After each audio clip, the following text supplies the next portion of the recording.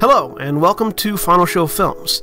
I'm John, the executive producer here, and I've got a few pre show notes for you.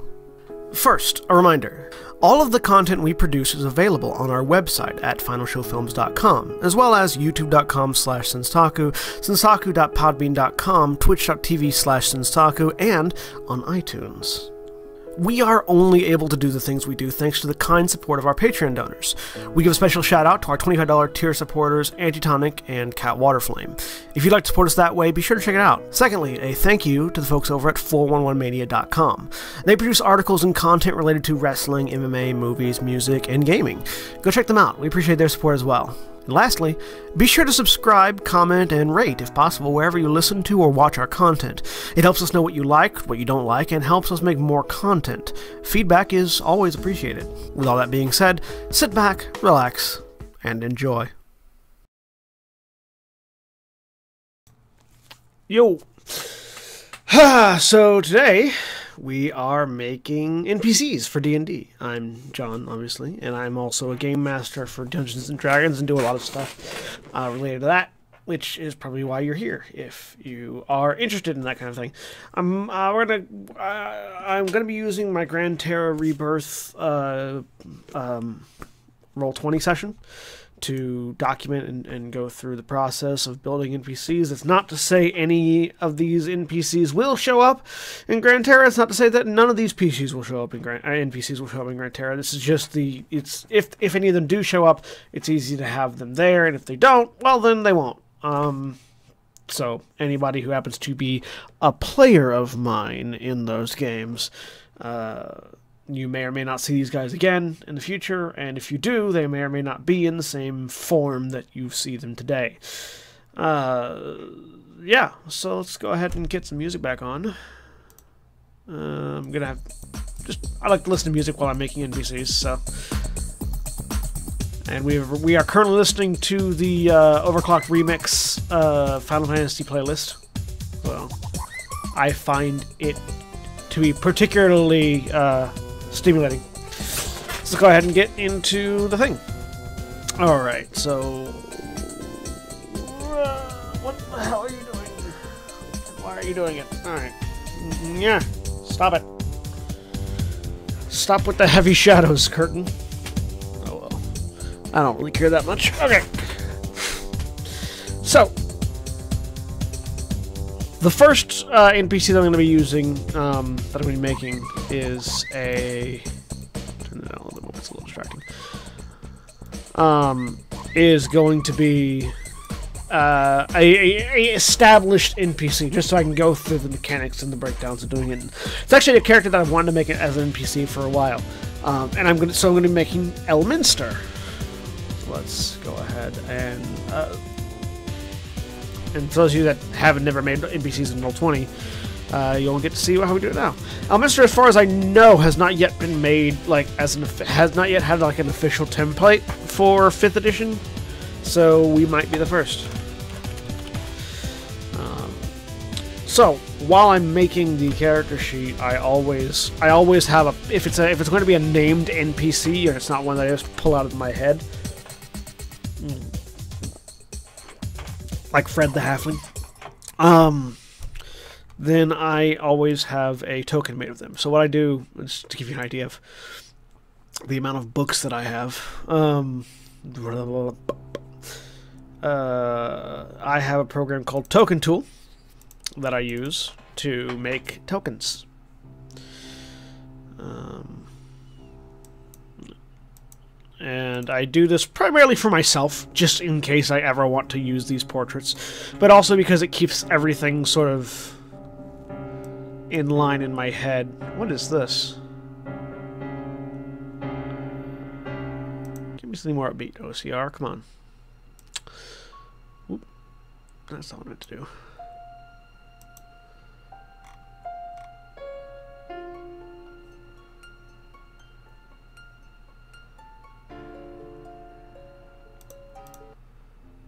There we go. Alright. Uh, so yeah, so first I start off by making token, because it helps me So I go into one of my many, many archives of character art, and I have already picked, I already grabbed Elminster's art. Elminster has official art, so. Um, do do do.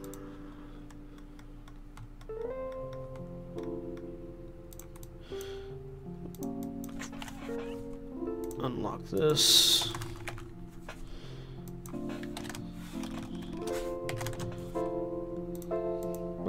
Wrong way. 500 by 700. There we go. That's a portrait. Alright, so... Include the artist credit there. Eh, I'm trying to include the artist credit at least. Oh well. We typically use our character art from...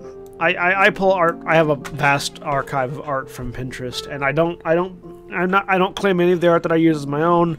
I don't try to make money off of any of the art that I use. Pointedly, I don't put ads on my shit, so, um, and if anybody asks me to, to not use their art, I will. But, for now, save. Uh, Elminster portrait.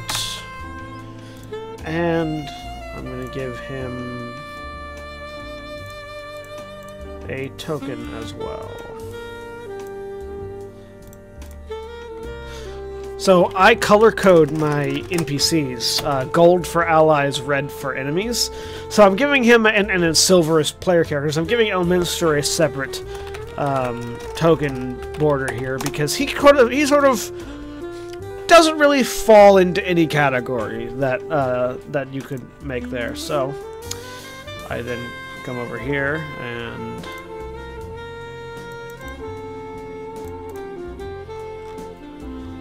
gather my art. Gather my token. And save. Elminster is a medium-sized creature after all. So, uh, we're gonna make Elminster. How do we make Elminster? Well, first we need to look, we need to know a little bit about Elminster because because we're using a we're making an established character in D&D lore. We're gonna go ahead and look at what he has previously been. Um, estimated to be.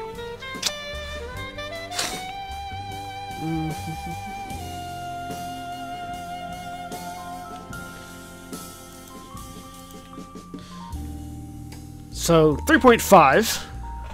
He had one level of fighter, two levels of rogue, because he started out as a fighter rogue. He started out as a fighter rogue, and then received the blessing of Mystra, uh, becoming her chosen, and other things, uh, which is when he became a cleric for three levels. And then he's got 24 levels of wizard and five levels of archmage.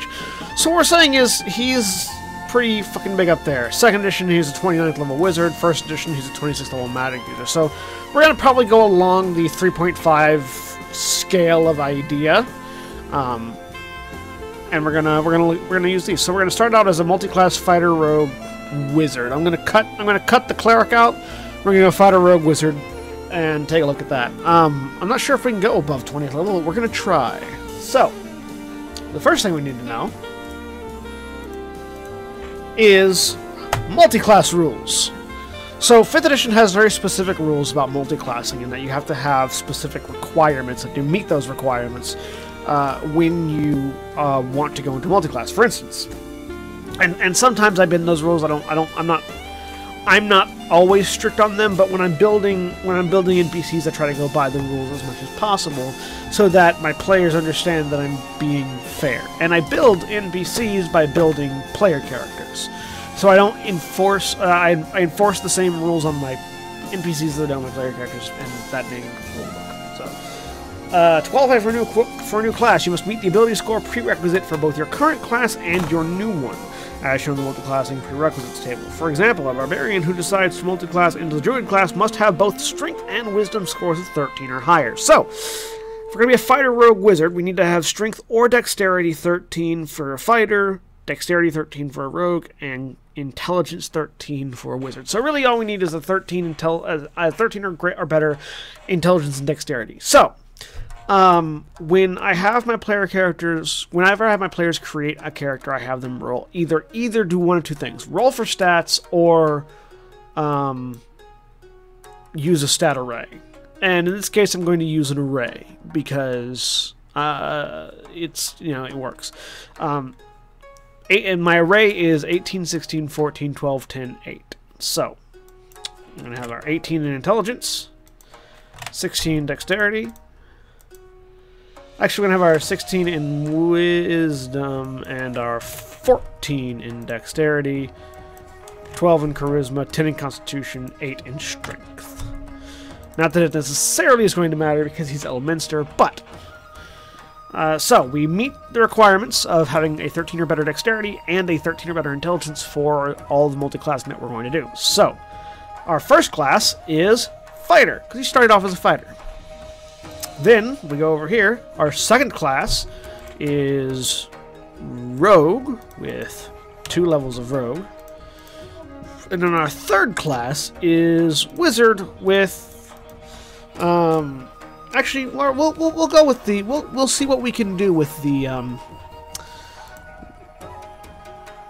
Cleric 3. And then our fourth class is Wizard 24. And let's go 24. Actually, uh, if we're counting Archmage, because that doesn't exist in 5th edition, then Archmage of 5, so 29 level. level 29 Wizard. Alright, off to a good start. Uh, Fighter 1, Rogue 2, Cleric 3, Wizard 29. Race, Humane, not that it matters anymore. Alignment, Chaotic, Good. I stress that Good is not actually what Elminster is, but he's listed as Chaotic Good, so we're going to go with Chaotic Good.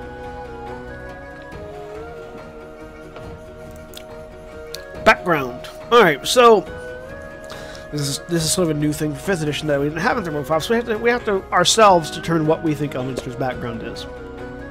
So Elminster started off as a fighter and a rogue, in sort of a mercenary company situation, and then he um, eventually became the chosen of Mystra and the goddess of magic, and as such became. Hey, Auntie, welcome back. Uh, welcome to the stream. Thank you for your subscription for five months in a row. Um, so, uh, he, when he had chosen Mystra, that's when he gained his clerical and wizard powers. So, what do we want to do here? Um, for background, flip into the book. Actually, I know what we want to do. Uh, I, I've most of my books are in PDF. I have physical copies of several of them, but I, I even have PDF versions of those because it's easier to build NPCs if I have the stuff in front of me rather than in my lap. So let's pull up our Sword Coast Adventurer's Guide. Available now from Wizards of the Coast. Um, yoink. This handy dandy PDF. Um, which all of these PDFs you can buy on RPG uh, on uh, um, DriveThruRPG.com or directly from Wizards of the Coast, or you can buy hard copy versions at your local game store. So support Wizards, support your favorite com- support your companies that make stuff that you like. I do all the time, all every chance I get. Uh, okay, uh, so I'm looking at background stuff, and because Elminster is originally from Faerun, Faerun seems to be a good place to go for background. So, what do we think? What do we think he was? He was sort of a sellsword mercenary kind of person. So.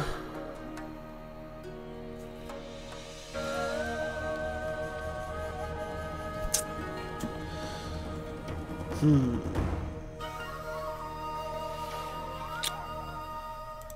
We're gonna we're gonna have him for now. We're gonna have him be a faction agent because he is a member of the Harpers.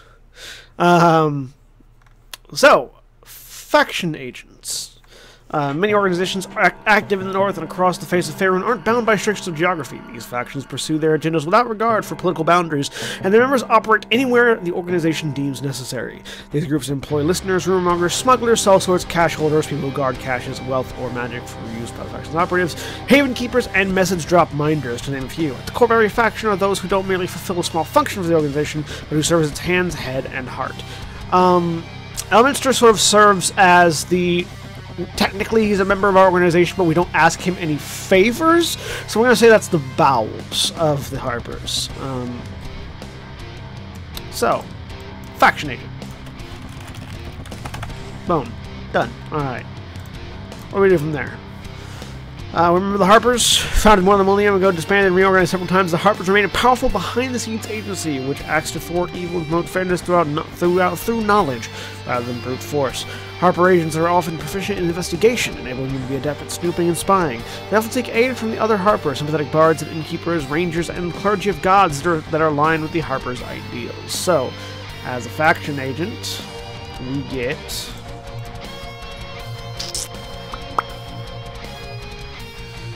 uh, insight and investigation. Yeah, we'll say insight and investigation because that's what the Harpers get. Two languages of our choice, and some stuff that doesn't some stuff that isn't really important. So as much as I build, um, as much as I build NPCs to be player characters, I completely and always ignore their equipment because their equipment that you get from your background in your class doesn't necessarily matter because I'm building them as an NPC. It, it would matter if I were playing them as a player character, but in this particular case, I just tend to ignore that. They they have as much money as they need and whatever items they need um, to for them to fill the role that I have in mind for them.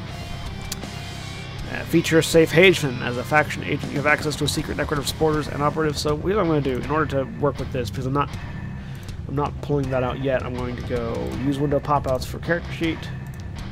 Pull up Elminster, put him over here, pull that right there. Alright. So, insight and investigation. Alright, so uh, his wisdom and his intelligence saves. Uh, wisdom intelligence based skills, which he had pretty good scores in, so that's nice.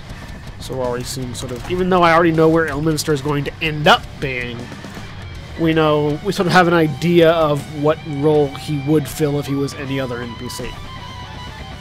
Um, here, feature. Spell feature right. No, what am I doing? Safe Haven is a is a background feature of the faction agent. As a faction agent, you have access to a secret network of supporters and operatives who can provide assistance on your adventures.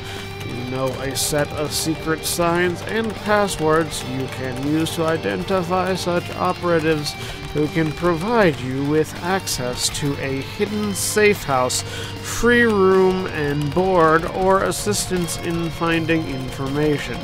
These agents never risk their their lives for you or risk revealing their true identities. Alright. Fucked up assistance there, but that's fine. So, Safe Haven. Complete there.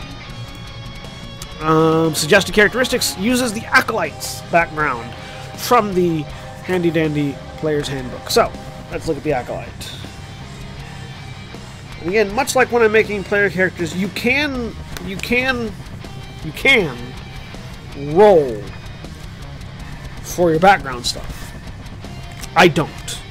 I pick my background stuff because that makes it more interesting. Like, I, I mean, you can. I, I, it's not necessarily not interesting if you roll randomly your background traits, but I find that it's better if I'm building a character that I build the character, rather than letting rather than letting um, the dice decide. That's that's why I like stat arrays a lot, especially like the 18 to 8 stat array because you're building the character, you're constructing them, so you know what they're going to be good at, what they're going to be bad at out the gate.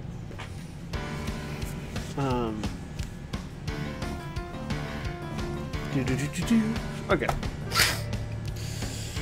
Personality traits. What do we have for Acolyte? Um, so we can use one of the eight uh, that is listed in the Acolyte uh, page. Uh, I idolize a particular hero of my faith and constantly refer to per- that, that person's deeds and example. I can find common ground between the fiercest enemies, empathizing with them, and always working towards peace. I see omens in every event and action. The gods try to speak to us, we just need to listen. Nothing can shake my optimistic attitude. I quote or misquote sacred texts and proverbs almost in every situation. I am tolerant or intolerant of other faiths and respect or condemn the worships of other gods. I enjoy fine food, drink, and high society. I spent so long in the temple that I have practical, little practical experience. So none of these really, um, none of these really uh, little practical experience.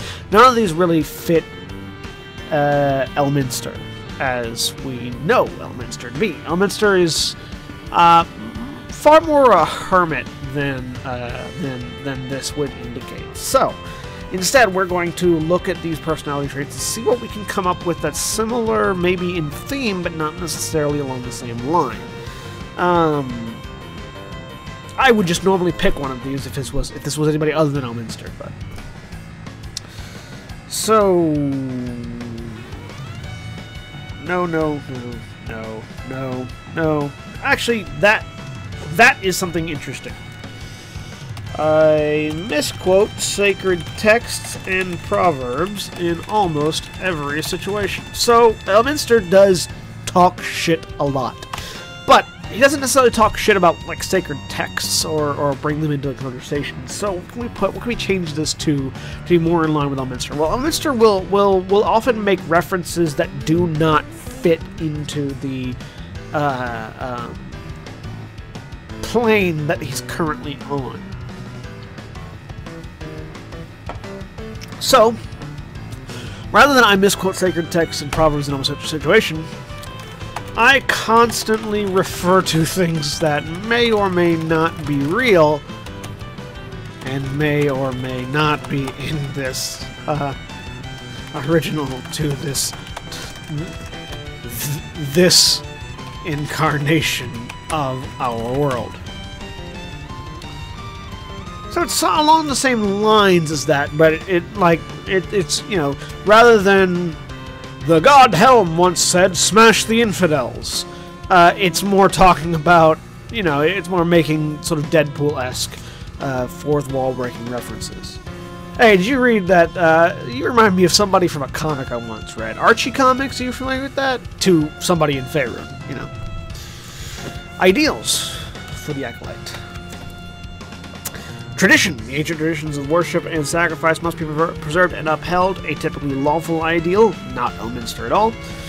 I always try to help those in need, no matter what, no matter what the personal cost. Charity, good. Another not really Elminster ideal.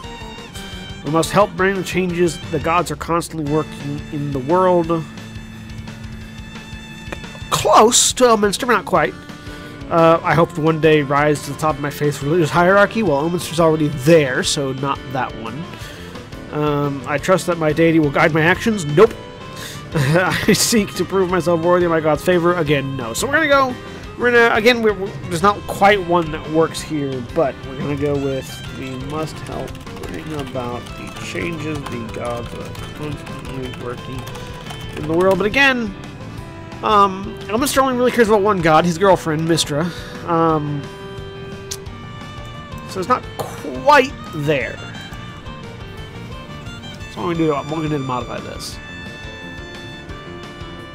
Um. Hmm.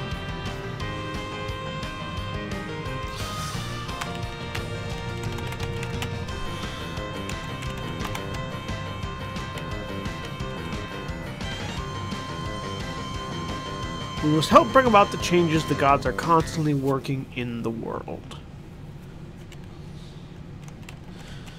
It's an awkward sentence.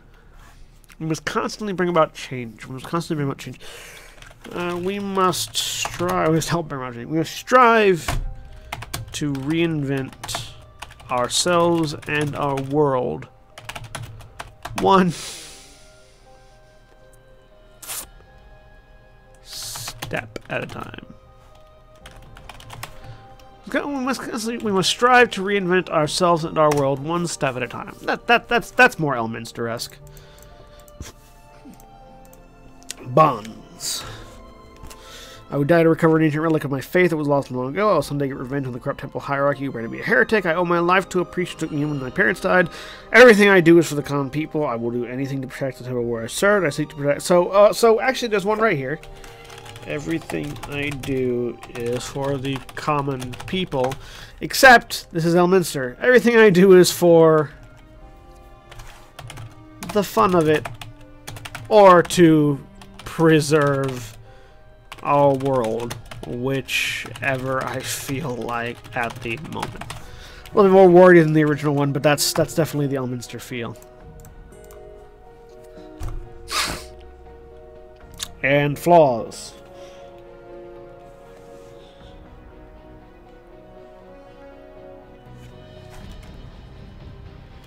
I judge others harshly and myself even more severely. So that's almost Elminster. There, that's Elminster. I judge others harshly. So, we have our background sort of set up for Elminster, so let's go to Fighter. Well, first let me look at the multiclassing rules again real quick, because there's something I'm not 100% clear on yet. And that is, how do our proficiency bonuses work? Do we get the ones...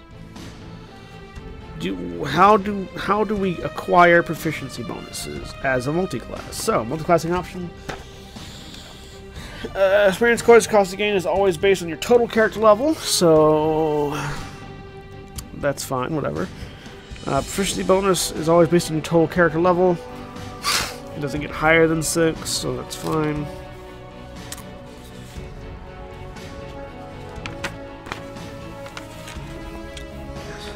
Proficiencies. When you get a level in a class other than your first, you gain only some of the class's starting proficiencies as shown in the multiclassing tables. Okay, so we start with we start as fighter, which means we get our fighting proficiencies. Wizard gets nothing, Rogue gets light armor, one one skill from the class's skill list, and thieves tools, and so we're gonna what we're gonna do then is we're gonna have our first level have been in wizard. Then we're gonna go fighter rogue cleric and get the. There's a table on page 164 of the player's handbook that tells you what proficiencies you get. Uh, because we're building from the ground up, it doesn't necessarily matter what level they started in, and and sometimes the rules don't quite work the way the story does. But um, there are certain things that we that we want Elminster to have been able to do, so we're going to have to play around a little bit with his uh, with his sort of um, map, you might say. So,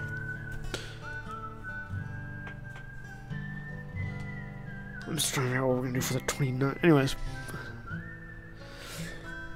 excuse me. All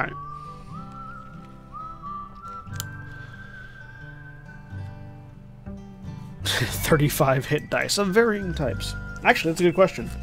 What hit dice does he use? Hit points and hit die. There we go.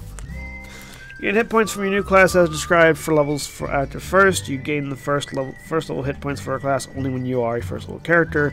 Add together the hit dice uh, by all your classes to form your pool of hit dice. If the hit dice are the same die type, you simply pull them together. For example, both fighter and paladin have d10, So your fighter, you know, 10 d10s. You guys, so your fighter, you have. Oh, so you have. Okay, so we have. I think rogue, cleric, and wizard all have the same hit dice, and fighter doesn't. So we have 1d10. Uh, we're gonna put this. Just additional traits and features. Hit dice spread. 1d10. Let's take a look at the others.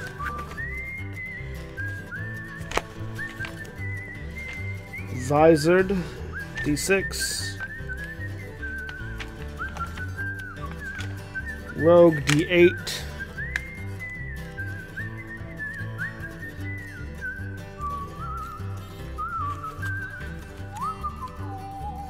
Cleric.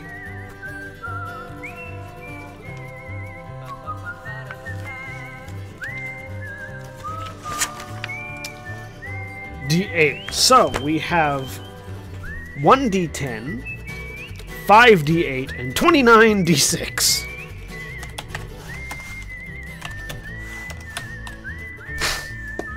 Lots of lots of hit dice. Also, age question mark. Just gonna go ahead put that there. No one knows Elminster's age. His age is his age is just uh, an infinite loop. All right.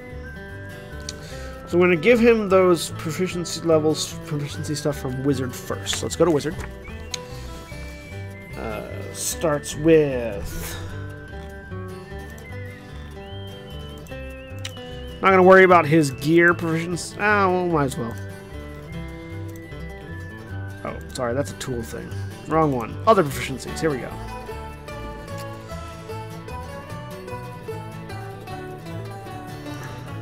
Weapon.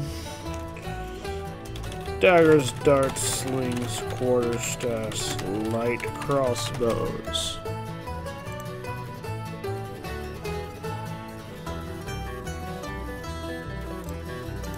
Intelligence and wisdom.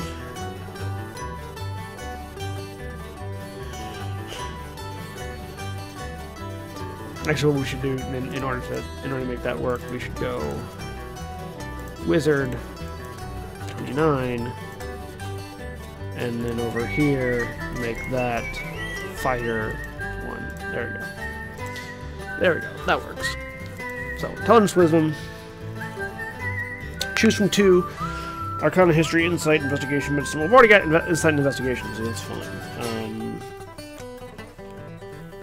arcana and religion. All right So this is going to be relevant later.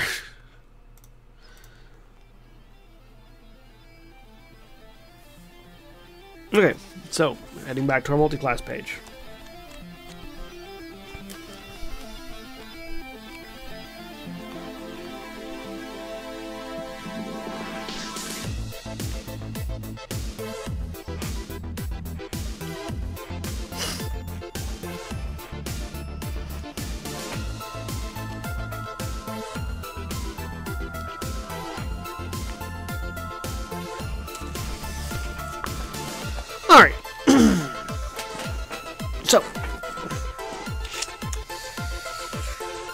Gives us light armor, medium armor, shield, simple, and martial weapons. So I can basically go, you know what? Instead of all this, simple, martial, simple, and martial weapons.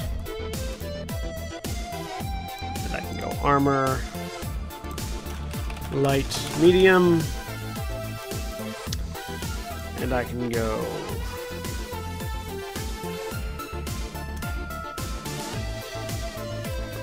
uh, sorry, light medium shields. Yeah. And that's it. And then I get uh, thieves tools.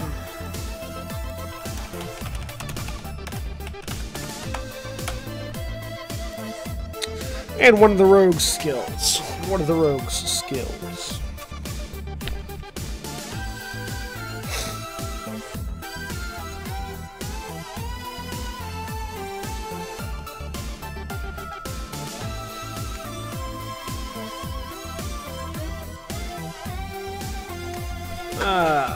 Acrobatics, athletics, deception, insight, intimidation, investigation, perception, performance, persuasion, sleight of hand, and stealth. Um, perception, we're gonna say.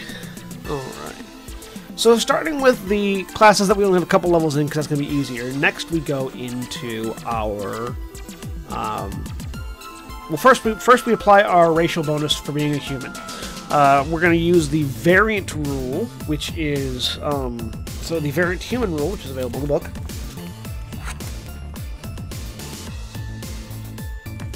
States.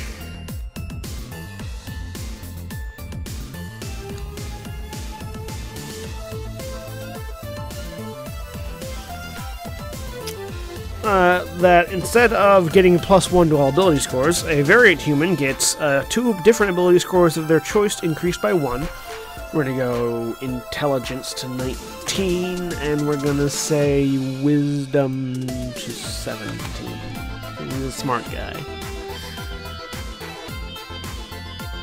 Uh, and additional uh, trait, uh, additional skill of our choice, so... I like having all the intelligent stuff up high.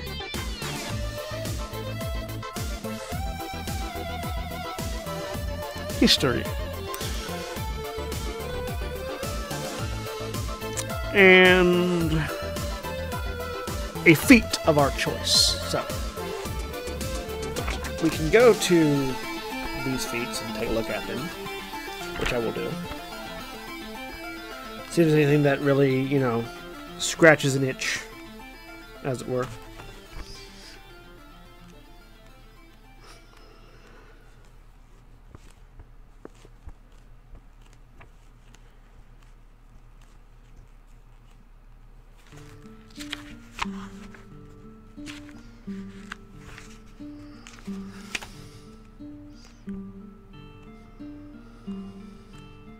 There we go. Arcanist not using UA. Uh, uh, we are using we are using the UA, um, but I want to see. I basically just want to see what we are, what we have access to in the PHB first, and then I'll look through the Unearthed Arcana. Also, welcome Zagreb to the stream as we make Elminster. So, uh, things we have: alert, athlete. So I, I want something that's going to increase his intelligence. Get get that up to twenty. So let's see what we have available to us in the PHB first because Elminster is viciously smart. So things that jump to mind, Keen Mind is a good one, and actually is probably what we're going to go with for his starting uh, feat, because Elminster is ridiculously smart. Keen Mind reads, You have a mind that can track time, direction, and detail with uncanny precision. You gain the following benefits. Increase your intelligence score by 1 to a maximum of 20. Uh, you always know which way is north, you always know the number of hours left before the next sunrise or sunset. You can accurately recall anything you have seen or heard within the past month. Yeah, we're going to go with Keen Mind. Uh, so we're gonna go ahead and we're not gonna we're not gonna put the details in there because I can easily find it back in the book. But keen mind, and it, uh, which is a first level human feat, which increases his to 20, and basically he has all this other stuff. Um, yeah, no, that uh, uh, Elminster's mind is like a steel trap. In fact, many people have gotten caught in it. So, we've got his feat, we've got his racial stuff down. Um, Elminster, I'm, I'm just going to put uh, uh, all, I'm just going to put, I'm not going to worry about what languages he, he knows because Elminster is the type of character that knows all, that knows all languages, so.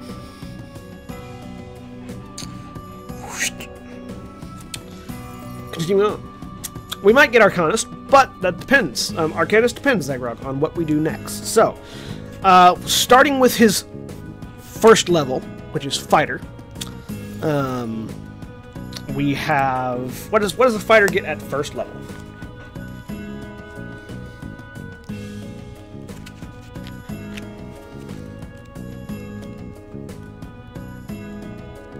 As I sift through my stuff.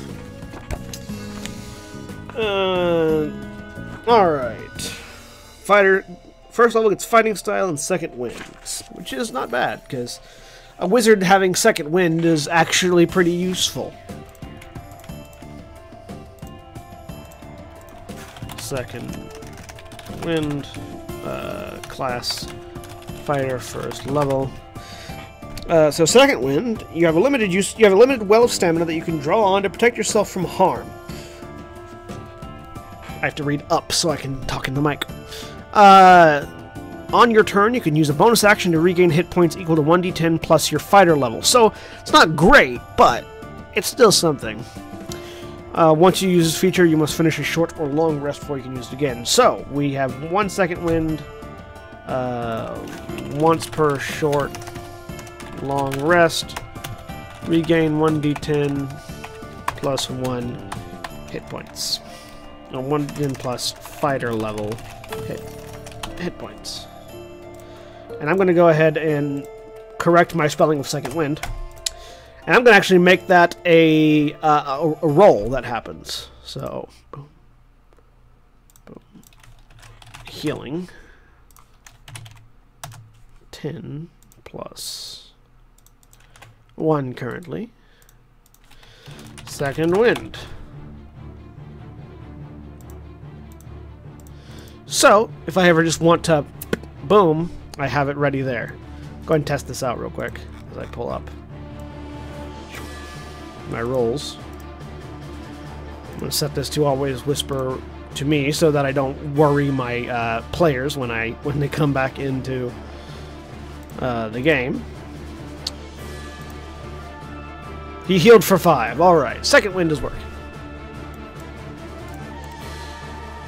Um, and then he gets a fighting style.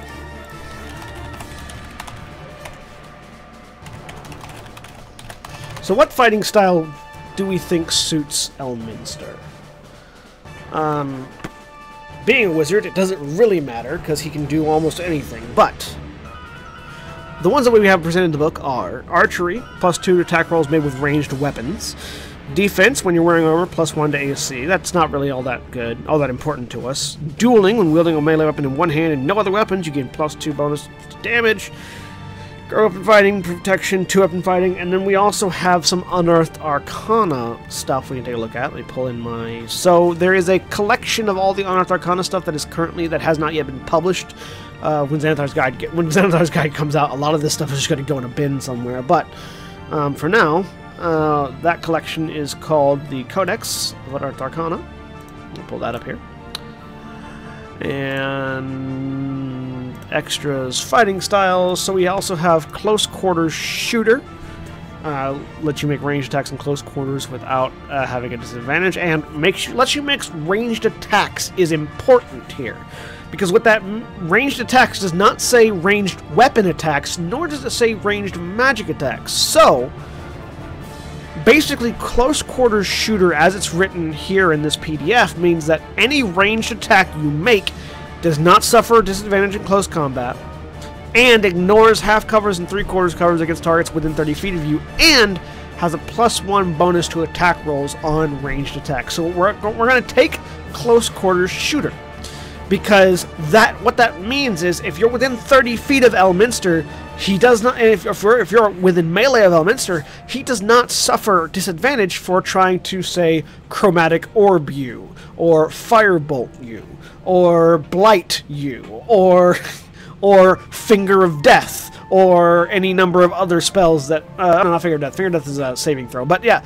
but um, but yeah, any any ranged spell that he might make that requires an attack roll doesn't have disadvantage. So that's real good for a wizard.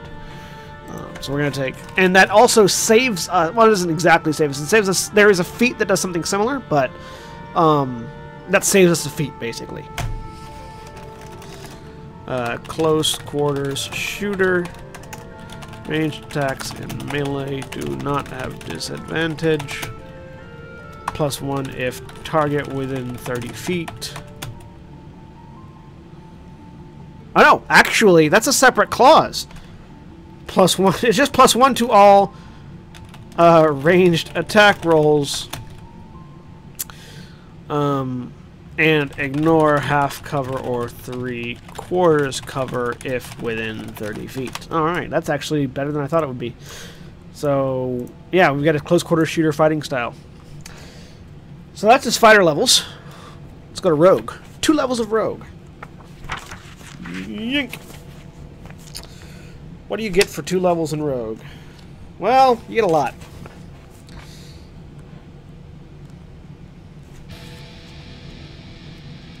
I can find if I can find the class. It's right next to where I'm turning it bet.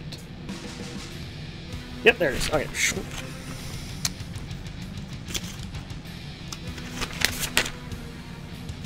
So, two levels of rogue gets us an gets us expertise, sneak attack, and thieves cant. So, uh, start with expertise. Expertise, we pick two spells.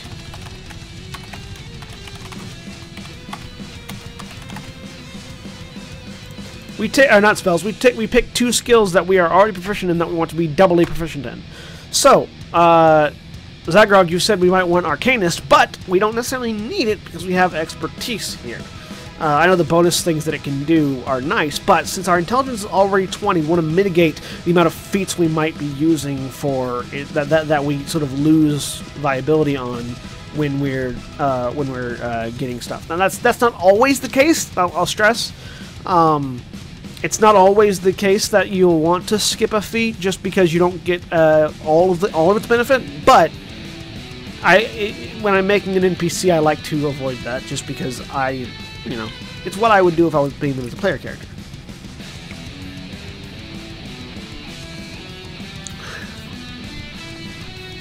So, uh, our expertise options are Arcana, History, Insight, Investigation, Perception, and Religion. I'm going to go with Arcana and Perception, uh, as those those are two fairly good things, and it also sort of tells us a little bit about Elminster again, what's important to him, magic and being able to see shit. So Arcana and Perception have expertise. So we have plus 17 to our Arcana rolls and plus 15 to our Perception rolls. There is very little in the world that Elminster does not know about magic. Uh, we also get Sneak Attack, which is currently a 1d8, a 1d6.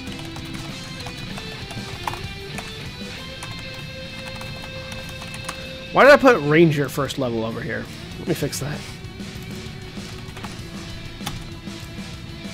And we get Thieves' Cant, which is a language, which I'll put over here.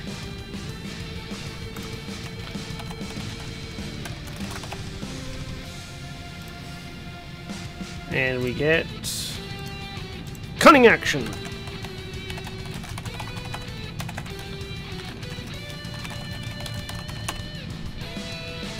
We'll go ahead and make a sneak attack thing up here as well. It is not an attack, it's something that happens at the end of an attack, and it is simply 1d6. hey, who doesn't want an extra 1d6 on the occasional hit? Anyways. Just bonus, really. So that's what we get as a rogue.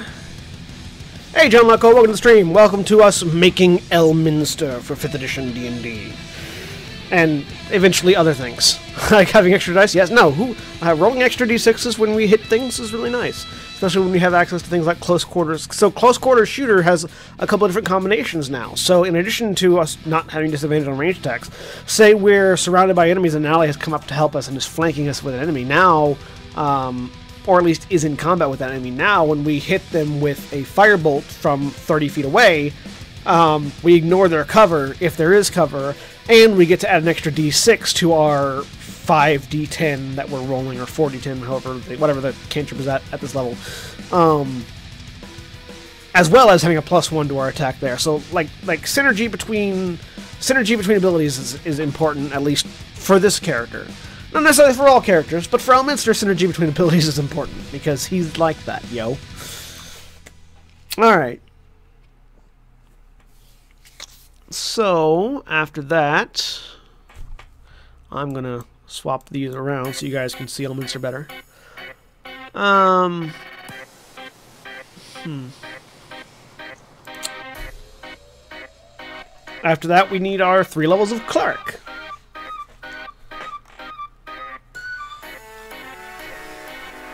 So flip to cleric.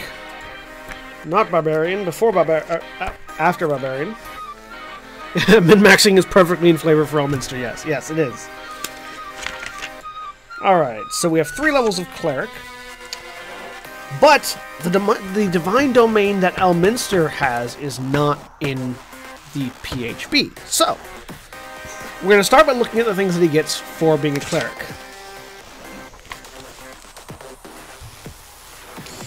Uh, so at third level, he gets spellcasting, obviously, his divine domain, channel divinity, and a divine domain feature, and that's it. So we have to go immediately to our, PH, our PDF over here because that's not going to help us at all. Um, so the divine domain that Elminster is a part of is actually in the Sword Coast Adventures Guide. Uh, it's going to be classes, clerics, divine domain, arcana domain. So let's look at what we get for now. The, the fun thing about being a cleric wizard combination is that it frees up spells for your spellbook later because you get uh, domain spells automatically. So, um, first we have our divine domain, divine domain, arcana. Uh, so here's a here. Uh, yeah, it's it's effectively the magic domain. So we don't really get any benefit from arcane initiate currently as it stands, because when you when you choose this domain at first level, you gain proficiency in the Arcana skill, and you gain two cantrips of your choice in the Wizard spell list. Um, so we're gonna put that in.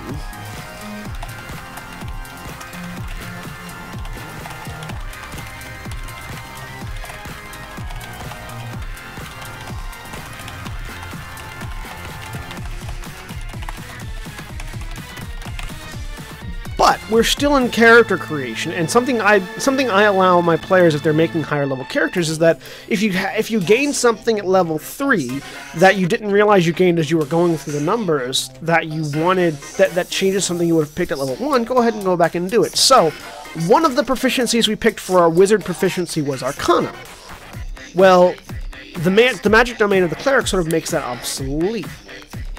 That being said, let's go ahead and go back because we we would have known uh, when we when we started. We know we knew we were going to go be going to this domain. So let's go back and take a look at that because what else could we have picked for proficiency?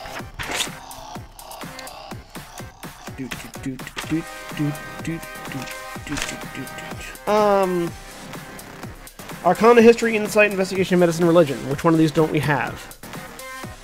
Medicine,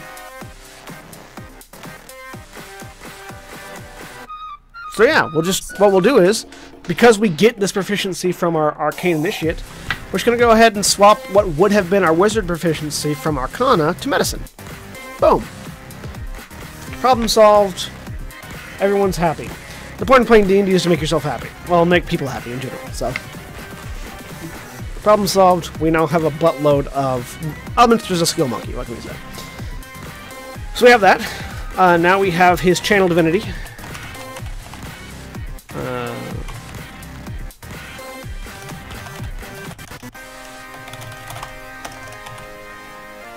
also, this is class cleric first level. Because we haven't even gotten to his wizard stuff yet, so we're gonna chill.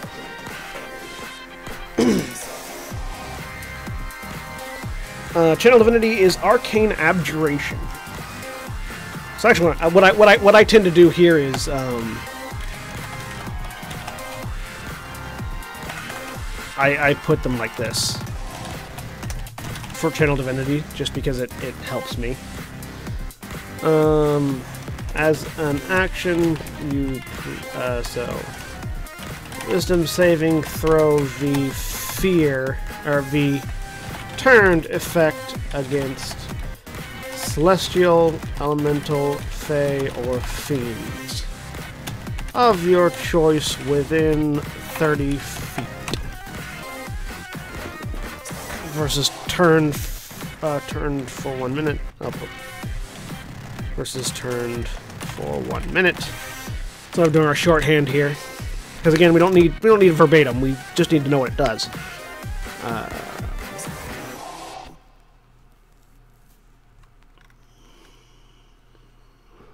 all right. So we get for there. So that's our. Uh, we also get. Um, I believe we also get the standard one, which is...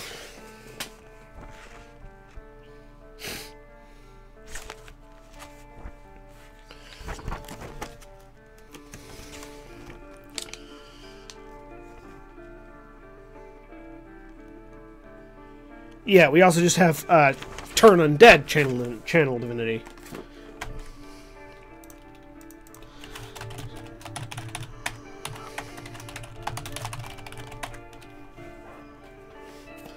Which is the same thing but against undead.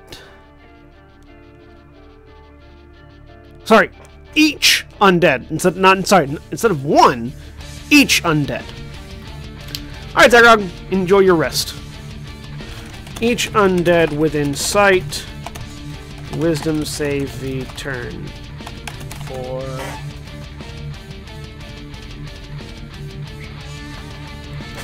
One minute.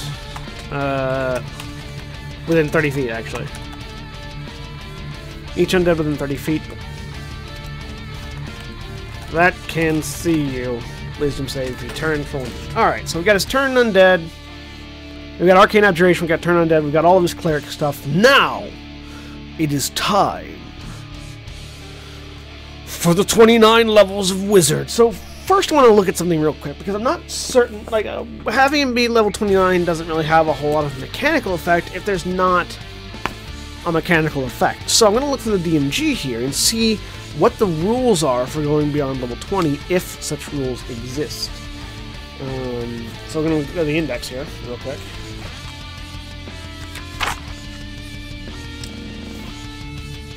Uh, Let's see. Beyond level 20? No. Level... Level, level, level, level...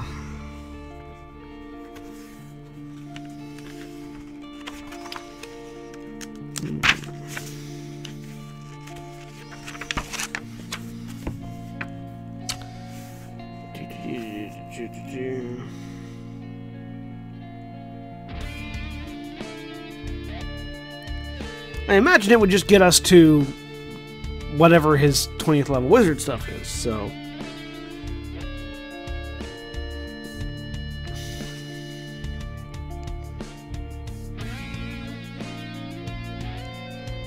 Gaining levels, 131 and 261. So let's look at let's look at these things real quick. 261 is closer.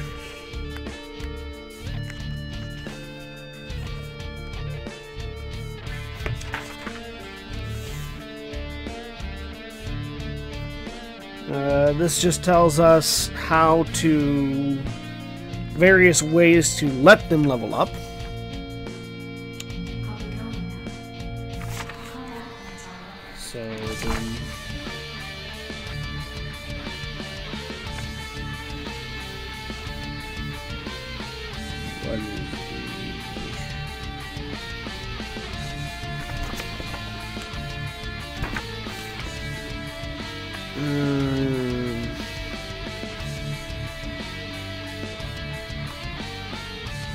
131. Let's look at 131 Let's see.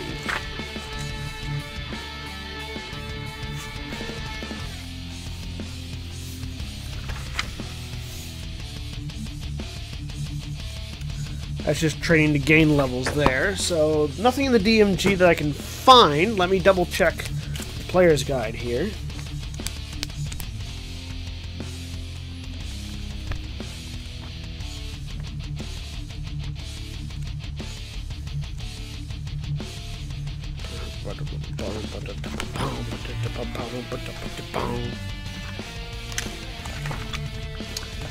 My handy dandy player's guide. Okay, so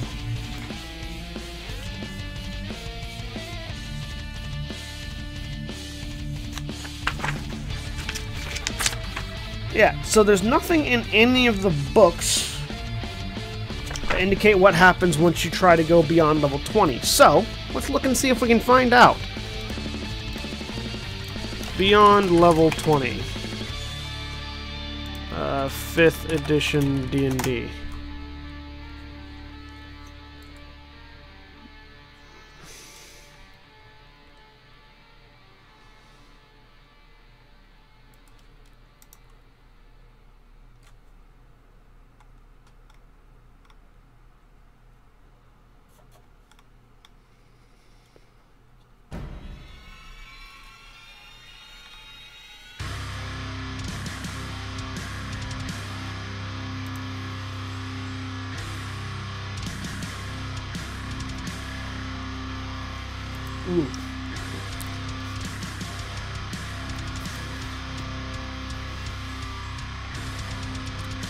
So, currently the rules provide no progression beyond level 20. That being said, they don't explicitly they don't explicitly ban it either.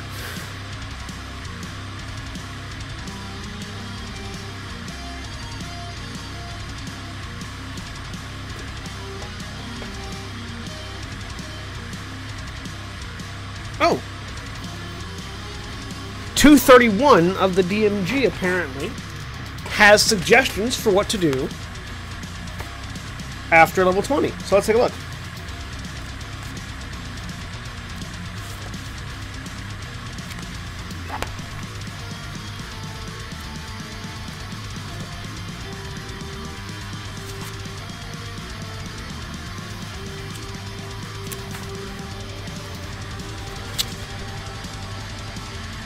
Epic Boon. An Epic Boon is a special power available only to 20th level players. Characters that gain at that level gain such boons only if you want them to and only when you feel it's appropriate. Epic boons are best rewarded after players complete a major quest or accomplish something else particularly notable. The character might gain an epic boon after destroying an evil artifact, defeating an ancient dragon, or halting an incursion from the outer planes.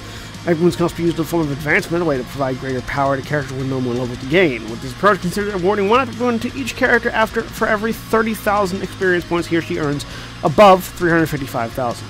So what we're going to say then is we're going to say that you can level up beyond level 20, and this is something that will apply to my characters as well if they ever go that far.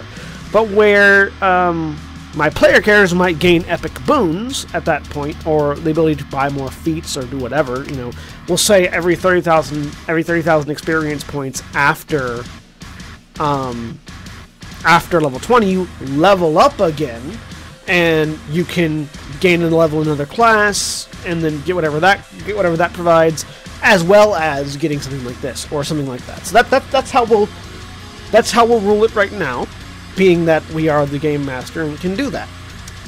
So, that being said, he can't be a level 29 wizard because there aren't 29 levels of wizard for him to. So, level 20 wizard then. Which means he'll have all the stuff that a 20th level wizard has, and he'll probably also throw in a couple extra uh, boons for his, let's see, uh, five, six.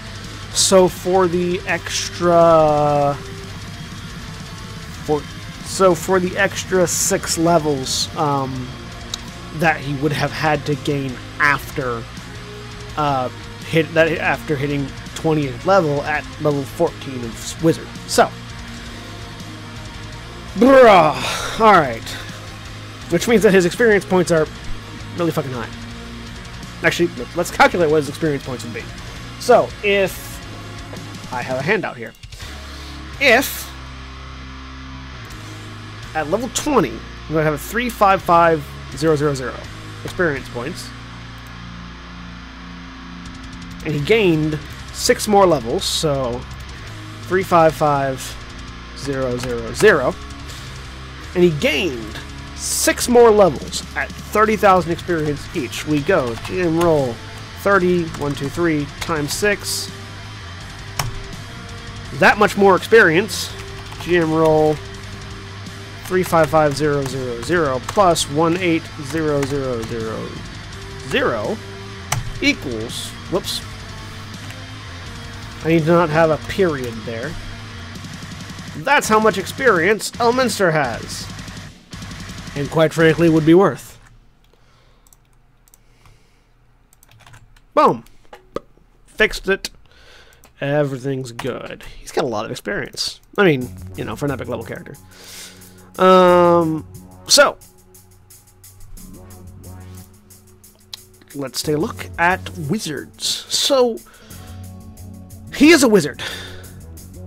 My problem with most of the wizard stuff in the book is that none of it really fits Elminster. So wizards have these things called arcane traditions that they learn at level 2, um, which are ways that they can cast magic better. The only problem I have with that is, well, quite frankly, um, they're not designed for a character like Elminster. For instance, um, there is a there's an arcane tradition in the player's handbook for each school of magic, and it indicates you as a particular um, expert in that particular school. Abjuration uh, gives you, uh, you know, you you have le- it takes less time for you to copy down abjuration spells, abjuration spells in your spellbook. You get arcane ward. Ward is a thing which basically gives you a it gives you a, uh, a spell that you can add to yourself or or, uh, or a shield that you can add to yourself that gives you temporary hit points. Uh, you can uh, you can push that out to other people, things like that. Um, conjuration makes you better at summoning creatures and uh, um, and makes your creatures themselves better. School of divination makes you able to see into the future. Enchantment lets you uh, gaze and charm on people. Not designed for characters like this. Sorry about yeah, that's fair. So we're not going to use any of the um, we're not going to use any of the stuff in the player's handbook. Instead, we're going to use something that's going to be obsolete as soon as X, X, uh, X uh, Xanathar's Guide to Everything comes out because they're not printing it in Xanathar's Guide to Everything. We're going to use the most broken subclass that Wizards has ever made for Unearthed Arcana. Lore Mastery. I know what you're thinking. Lore Mastery, what is that? Lore Mastery, it's what, what you're, you're good at reading books? You're, you're, you're, you is that what it is? So, Lore Mastery is the arcane tradition fixated on understanding the underlying mechanics of magic, the, the fundamental building blocks of magic. Not only, but but the thing about magic is when you understand something magic, that means you are good at manipulating that aspect of magic. So, Lore Mastery wizards do the following. At second level, they get spell secrets. Um, when you cast a spell with a spell slot and the spell deals acid, cold, fire, force, lightning, necrotic, radiant, or thunder damage, you can substitute that damage type with one other type from that list. You can only change you can you can change only one damage type per casting of a spell. You replace one energy type for another by altering the spell's formula as you cast it. When you cast a spell on a spell slot and the spell requires a saving throw, you can change the saving throw for one ability score to another of your choice. Once you change a saving throw in this way, you can't do so again until you finish a short or long rest. So, note that those two paragraphs do not countermand each other. You can throw a fireball that does force damage, or acid damage, or lightning damage, or thunder damage, and make the saving throw charisma, or wisdom, or intelligence, or constitution, or strength, instead of dex. And, as a note, when you do that, you completely nullify a rogue's evasion ability because the evasion ability on a rogue specifically indicates that you only take half damage if it's a dexterity saving throw, you fail. Or succeed, or whatever. Or take no damage if you succeed. So, you just completely annihilate rogues with that. And the funniest thing about this uh, is. Um, the funniest thing about this is that wizards, when writing it, don't. I don't think they quite understood what they were doing because they included a little text blurb. And to be fair, this isn't the original PDF, but this was something that was included. Altering spells. While the Spell Secrets feature offers increased versatility at a table, its effects can be difficult to spot by the other players.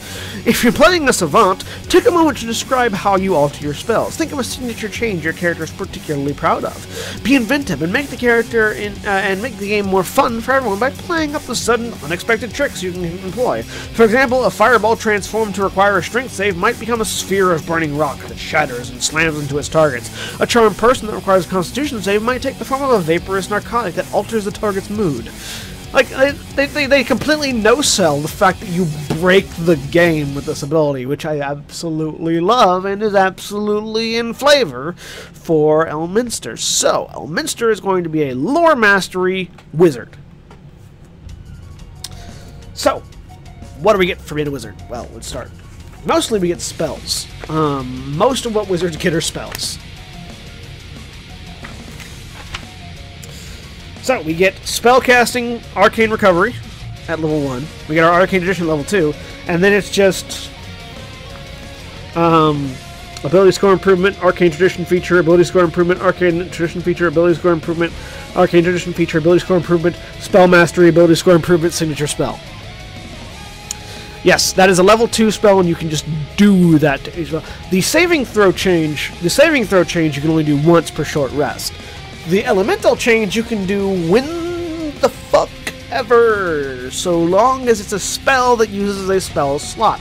So it doesn't apply to signature spells, and it doesn't apply to mastery spells, things that don't actually use spell slots when you cast them. But or yeah, but still fucking ridiculous. So, level one, spellcasting we already have. Arcane recovery added in. Arcane recovery class wizard first level.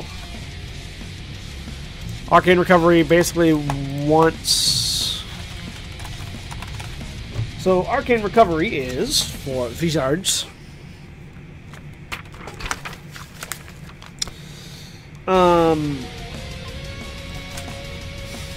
you have learned to regain some of your magical energy by studying your spellbook once per day. Once, when you finish a long, when you finish a short rest, you can choose to expend spell slots to recover. Uh, you can choose expended spell slots to recover. Sorry, the spell slots can uh, can have a combined level that's equal to or less than half of your wizard level, rounded up, and none of the slots can be of sixth level or higher. For example, a fourth level. So, so yeah, I can. I have effectively. I have 10 levels of spells that I can recover, but I can't recover anything higher than sixth. So, or, yeah. Um, so we'll put that down as once per short rest, uh, once per long rest. After finishing a short rest, recover 10 levels of spells no higher than, than 6th level.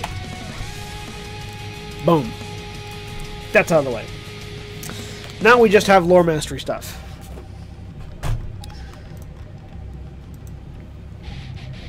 So, lore master. Uh, actually, so we've run into another thing. We were previously talking about how we were using our expertise to increase our arcana, our arcana skill, but lore mastery um, doubles a proficiency bonus for any ability check you make that uses arcana, history, nature, or religion if you're proficient in those skills.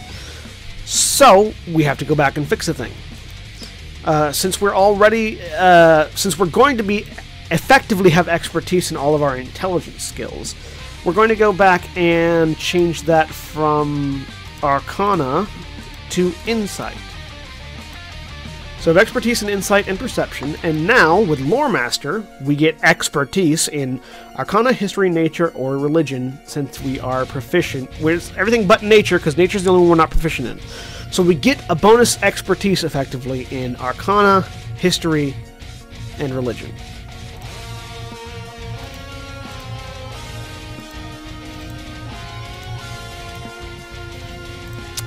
Man, we're a goddamn skill monkey. Look at that plus 17 to Arcana, plus 17 to History, plus 15 to Insight, plus 11 to Investigation, plus 9 to Medicine, uh, plus 15 Perception, plus 17 Religion. We have, we a passive Perception at 25. Beat that! Come on. Anyways, it's actually quite easy to do if you get a high off level rogue. But anyways, or just a uh, first level rogue with 20 dexterity, as a matter of fact. That aside,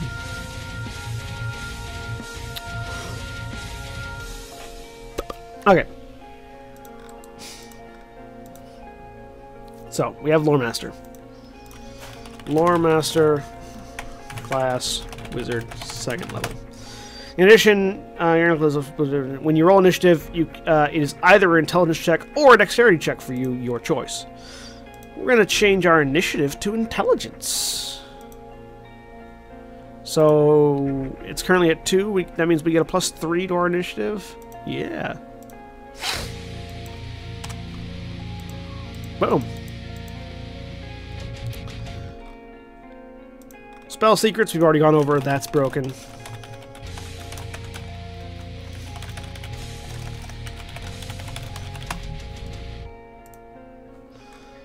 Alchemical casting at sixth level. So here's another butte that lore that lore master wizards get, which is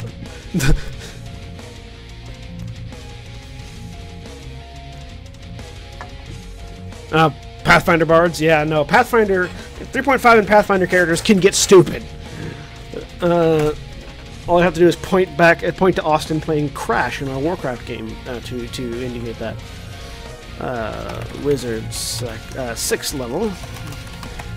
So at, at, so at sixth level, Lore Master Wizards learn to augment spells in a variety of ways. When you cast a spell with a spell slot, you can expend one additional spell slot to augment its effects for the casting, mixing the raw stuff of magic into your spell to amplify it. The effect depends on the spell you expend. You can only do one of these or Lucy Valley You only do one of these per spell, but uh, an additional first level spell slot increases the spell's raw force. If you roll damage for a spell when you cast it, increase the damage against every target by 2d10 force damage. Remember that fireball that did force damage that I was talking about earlier? Well, in addition to the 8d6, add another 2d10 on top of that.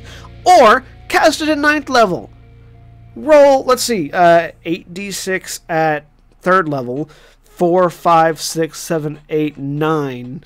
Um, so 13, 14d6 plus 2d10 force damage just by expending a first level spell slot. Just boom, go away.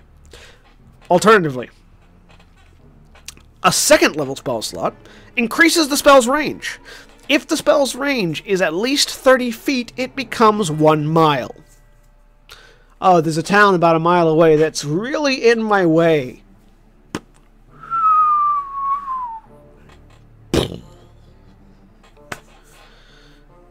Just literal arcane artillery. And third level spell slot, yes, one mile. Uh, third level spell slot can increase the spell's potency, increasing the spell save DC by two. Do you need line of sight? Presumably you need line of sight. So, Arcane Eye, go look at it. Fireball. Just a small bead of fire, just... Or Meteor Swarm. Or Gate. just goddamn. Finger of Death. Disintegrate. From a mile away. Yeah, no, it's, it's ridiculous. So that's alchemical casting. Uh, spend additional spell slots for additional effects. First level spell, plus 2d10 force damage to all targets. Second level spell, increase range if at least 30 feet to 1 mile. Third level spell, increase DC by 2.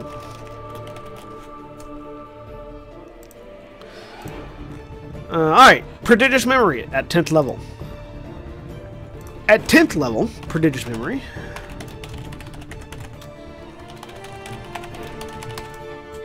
Gate to Carceri in that village mile over there, and while hideous things escaping the prison plane, overwhelming, casually riding away eating an apple. Yeah, that's things Elminster could do. At 10th level, you have attained a greater mastery of spell preparation. As a bonus action, you can replace one spell you have prepared with another spell from your spellbook. You can't use this feature again until you finish short and long rest. I don't know why this was at 10th level, not at 2nd level. This is far more a 2nd level ability than a 10th level ability. Just spontaneously swapping prepped spells? That's like, that, that's, that makes more sense to me to be a 10th, oh, a 2nd level ability. Not, oh, I'm just to throw a force, I'm just to throw a, um, what are you weak to? I'm to throw that and with your lowest saving throw as the saving as the DC at you. Here's a cold fireball. here's a uh, he, here's a here's a firestorm, not ice storm. Here's a you know, here's a finger of death that does radiant damage. A disintegrate that does fire damage. You know, so we can hot swap a spell with Prodigious Memory once per short rest. Big whoop.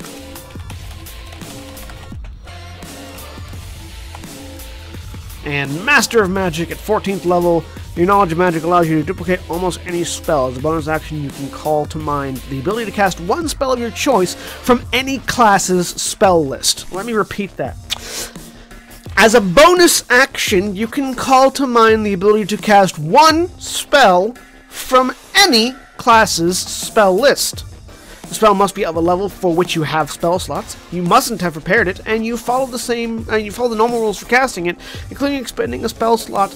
Uh, including expending a spell slot. If the spell isn't a wizard spell, it counts as a wizard spell when you cast it. The ability to cast the spell vanishes from your mind when you cast it, uh, or when the current turn ends. You can't use this feature until you finish a long rest.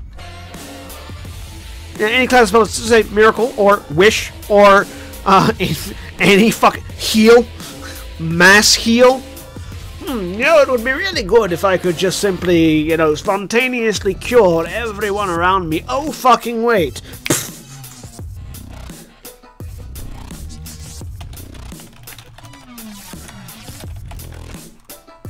I can do that.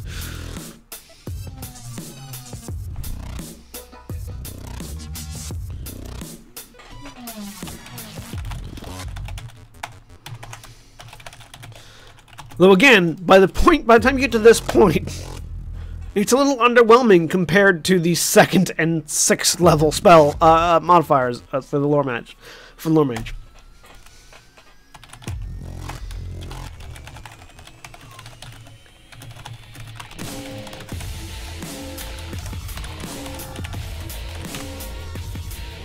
How, what, what, what sort of a dick would you have to be to waste that? Hmm. Well, I can I could do any spell that I want, but I'm just going to do it entangling roots from the ranger spell list. Why not? Banishing smite. Yes, pop. just fucking waste it. Oh god. Okay. Now we go back to the core wizard stuff. Because now we get to the cool shit. Uh, spell mastery at 18th level. Also, we have uh, we have a few feats that we're gonna go, or a few feats slash abilities core improvements that we're gonna get to, but we're gonna get that in a minute. Um, uh, spell mastery class. I don't know why you went up, but class wizard, uh, 18th level. So basically, uh, spell mastery at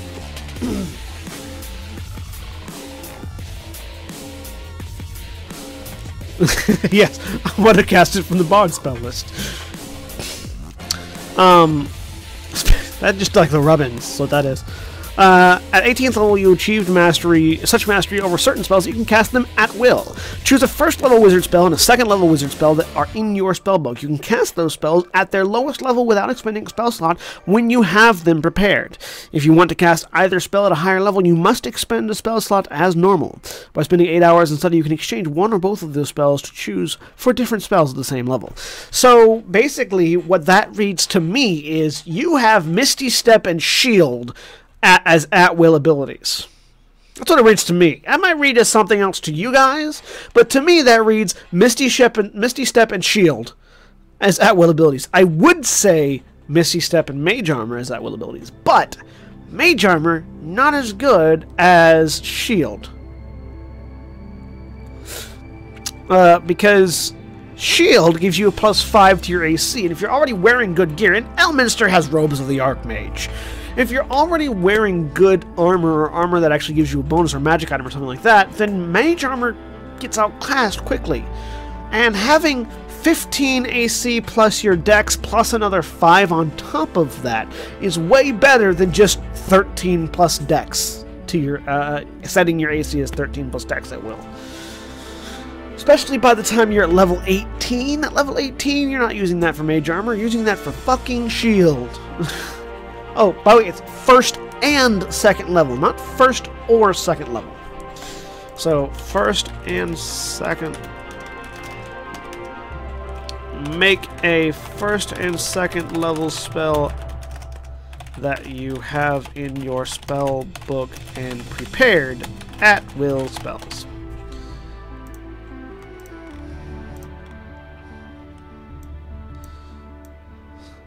It's the value is hard to translate. All right. And finally, spell mastery. I don't know why this keeps going upwards, but whatever. I'll fix it in a minute. Uh, wizard. 20th level. So, spell mastery reads when you reach 20th level, you gain mastery over two powerful spells and can cast them with a effort. Choose two third level wizard spells in your spellbook as your signature spells. You always have these spells prepared, they don't count as the number of spells you have prepared, and you can cast each of them once at third level without expending a spell slot. When you do so, you can't do so again until you finish a short or long rest. If you want to cast either spell at a higher level, you must spend spell slots as normal. So it's you know it's worse than spell uh, than sig- sorry signature spells, not spell mastery. Signature spells. It's worse than spell mastery, but I mean it's still pretty cool.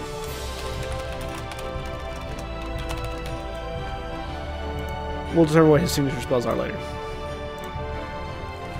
Alright, so we've got all of his features in. Now we have to go back and, and, and look at the number of... Fortunately, we only have the, the ones for Wizard because Cleric, Fighter, and uh, Rogue never got high enough. So we look at our ability score improvement or feat options that we have for 20th level Wizard. Um... So we have... One, two, three, four, five. We have five potential options for feats and um, for feats and um, ability score improvements. So, what do we want to do? Well,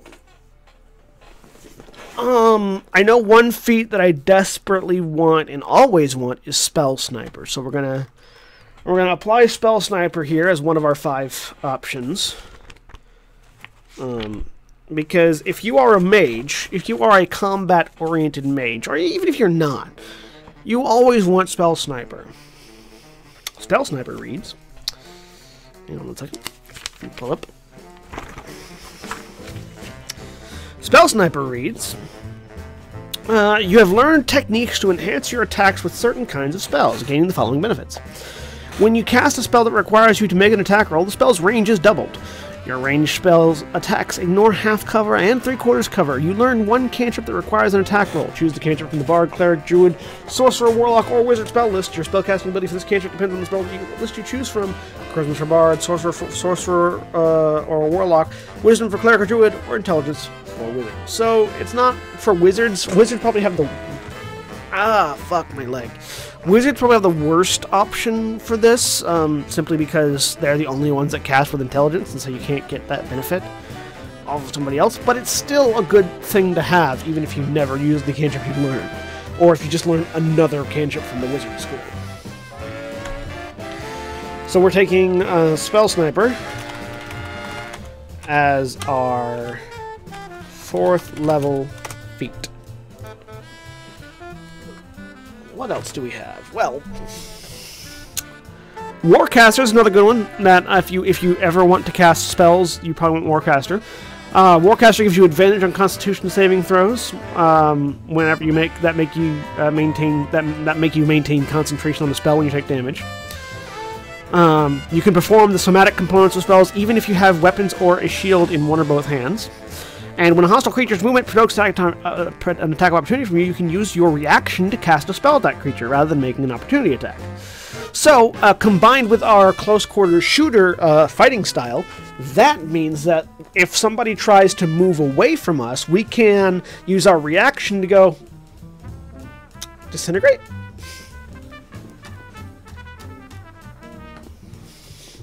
hmm, I see you're trying to run away from Elminster. Disintegrate. Or Hold Person. so we're going to take Warcaster for our sixth level uh, feat.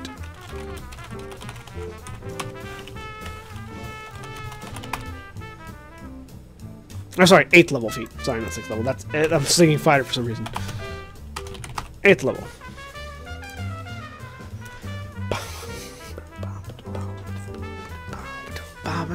What else do we have? So, um, hmm. Hold monster, harder to save against. Yeah. Um, hmm.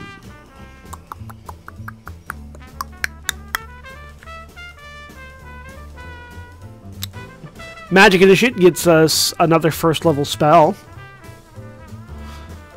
Probably don't care about that too much though. Um, observant. Quick to notice details in your environment, you gain one of the following benefits. Increase your intelligence or wisdom score by one. Wisdom. um, to a maximum of 20. If you can see a creature's mouth while it is speaking a language you understand, you can interpret what it's saying by reading its lips, and you get a plus 5 bonus to your passive wisdom perception and passive intelligence investigation.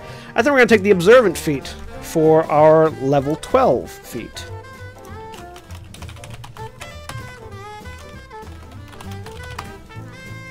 Because getting our wisdom to 18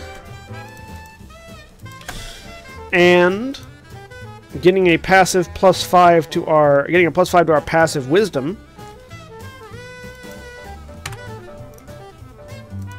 seems to be good now that we have a passive perception of 31 mm.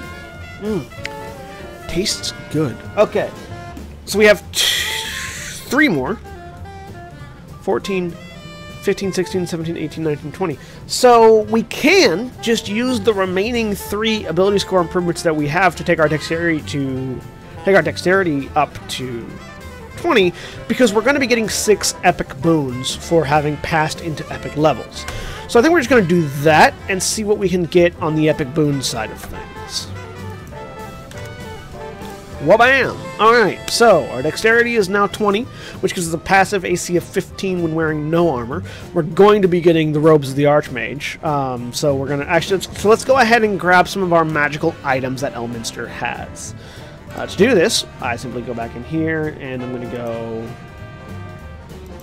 uh, I'm going to turn my uh, enable pop, uh, sorry, uh, use window pop outs for characters off. So when I pull Elminster in, he's here go to my uh, 5th edition compendium here, and Robes of the Archmage. So here's a fun thing about using Roll20 for, for, uh, for those of you that don't. Uh, Archmage.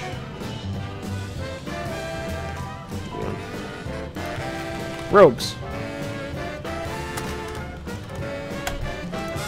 Items.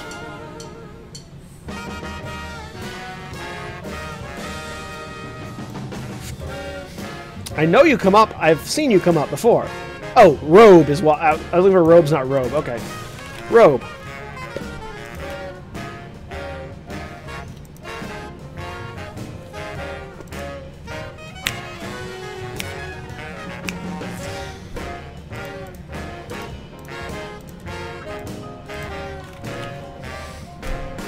Okay. So, if you have a if you have a um, if you have an, uh, an item that you know you want to add to a character, even if it's a player character or it's an NPC, you can if you can find it in the compendium on roll twenty, you can just go boop, and it will automatically put them in. Sometimes it fucks up and gives me an armor class of thirty. I need to check that out. I need to see why that's happening. Actually, I just need to fix it. Um, because it's supposed to make um, 15 plus dex mod. So let me fix that real quick.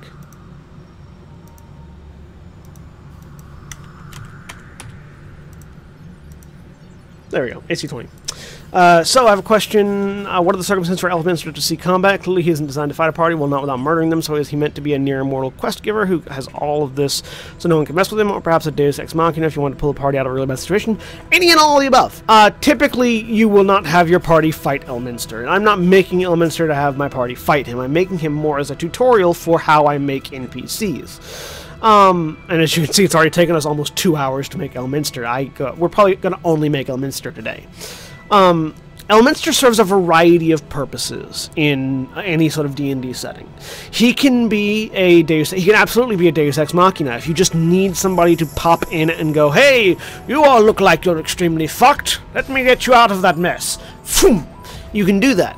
Um, he's chaotic, he's a chaotic good entity, so if it seems likely for him to do that, he can absolutely do it. Um, the biggest thing about Elminster is that he is the chosen of the goddess of magic.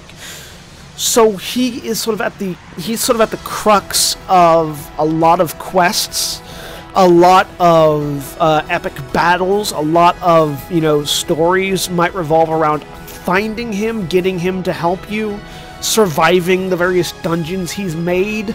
Um, any number of things. He is functionally immortal. Um, So, yeah, you give him all this stuff just so that you have a rule set for him in the unlikely event that your that your um, in the unlikely event that your party wants to try to fuck with him. Um, and that's pretty much how I that, that that's that's that's why you make that's why you stat out NPCs of great power. Characters that you know it's unlikely your players want to fight, but in case they do, give them a target.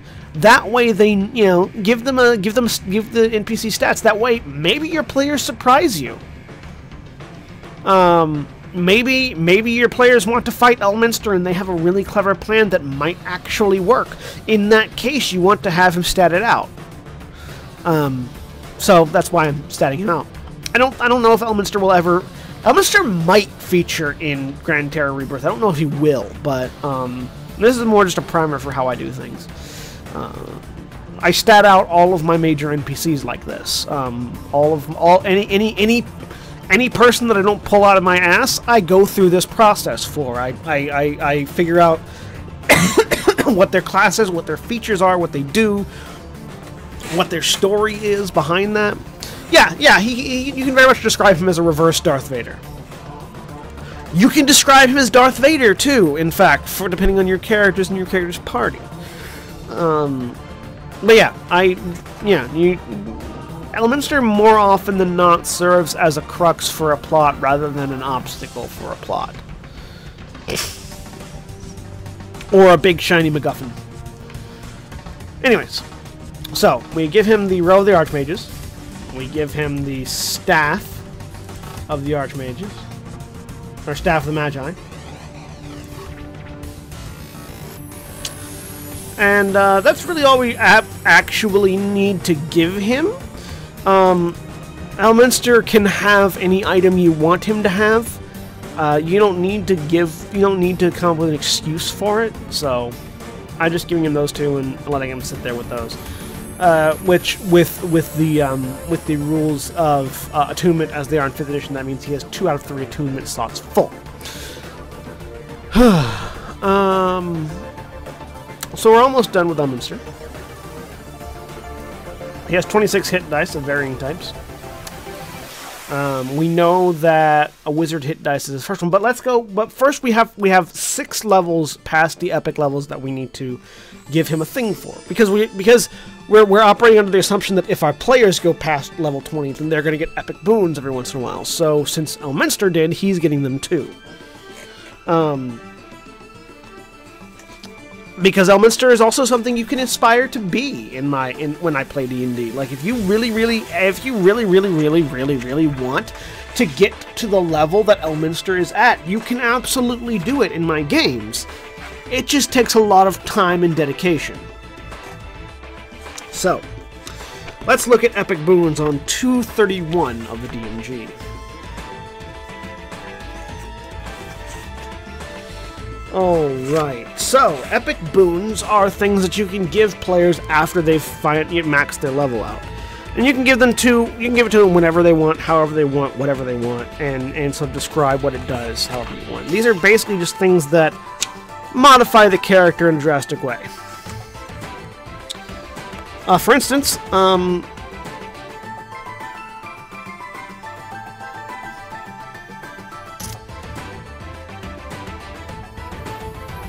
we're going to give him the boon of quick casting. What is the boon of quick casting, you might ask? Well,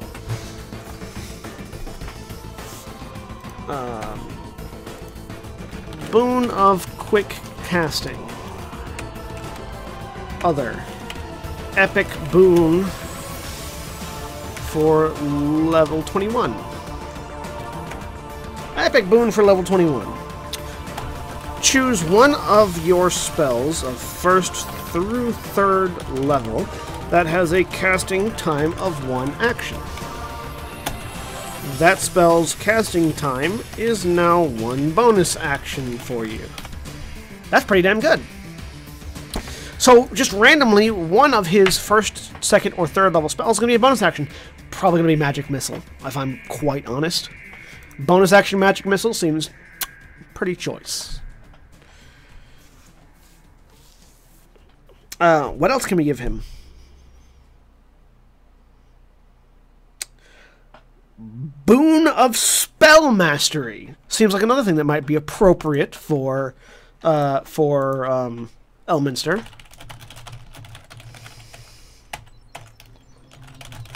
Epic Boon for level 22. Choose one first level spell. Uh, uh, sorcerer, Warlock, or Wizard spell that you can cast.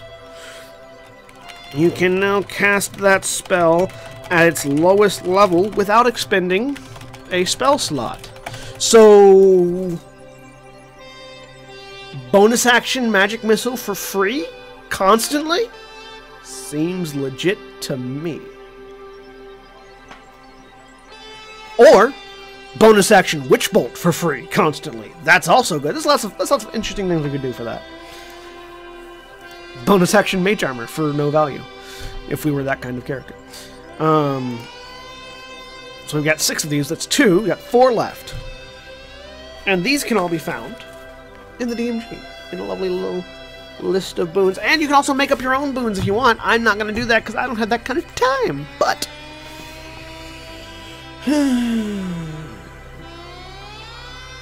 what else? What else should we give him?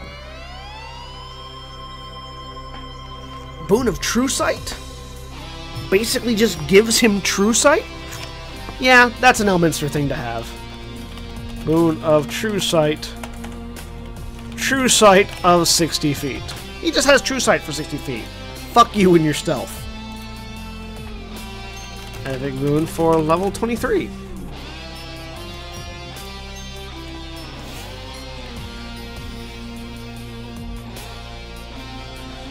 Uh, there's another one that he definitely has. Boon of High Magic.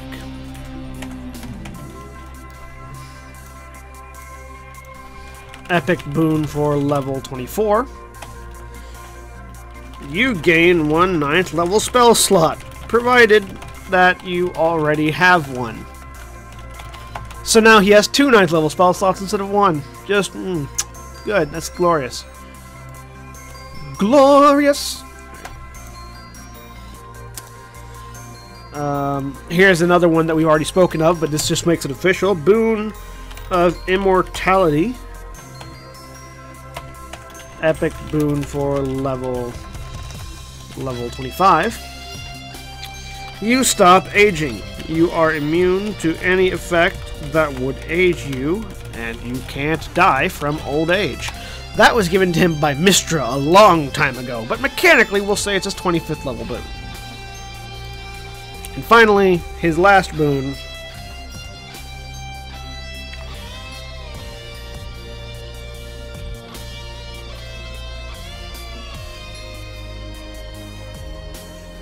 Hmm. Lots of good options here.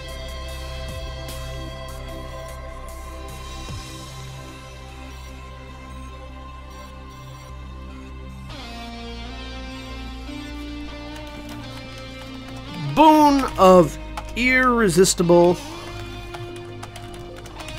Offense. Epic boon for level 26. You can bypass the damage resistances of any creature. Alright. So we've got a pretty well kitted out Elminster here. Um, I like to assume that for Elminster he knows all spells. Uh, and has no problem casting any of them, but we are going to put together some of his basic spell package. Uh, that's and that's primarily because um, we know a few of the spells that he does know.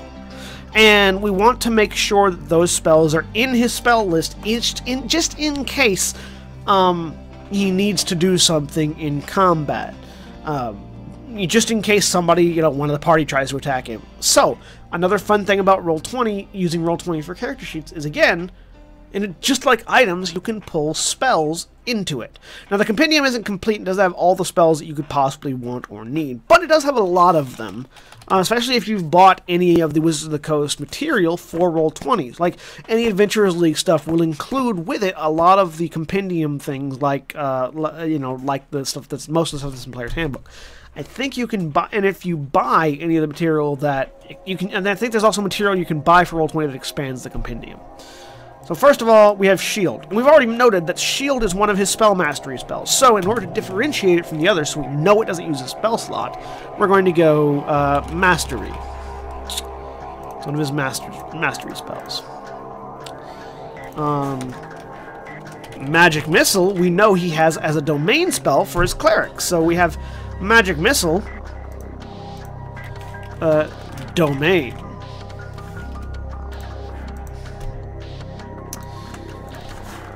Uh, Misty Step, we know we want him to have as another mastery spell.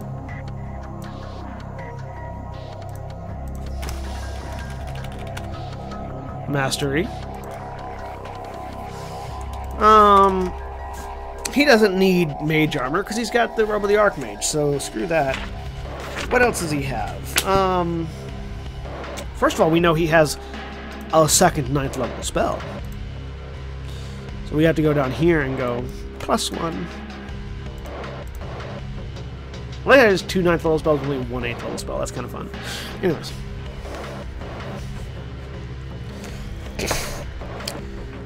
What else might he have? Well, let's just pull up our Andy dandy spell list.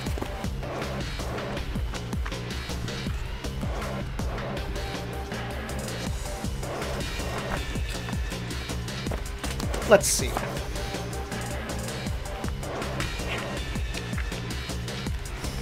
Actually, what we should do first is determine how many spells can he have prepared. So as a wizard,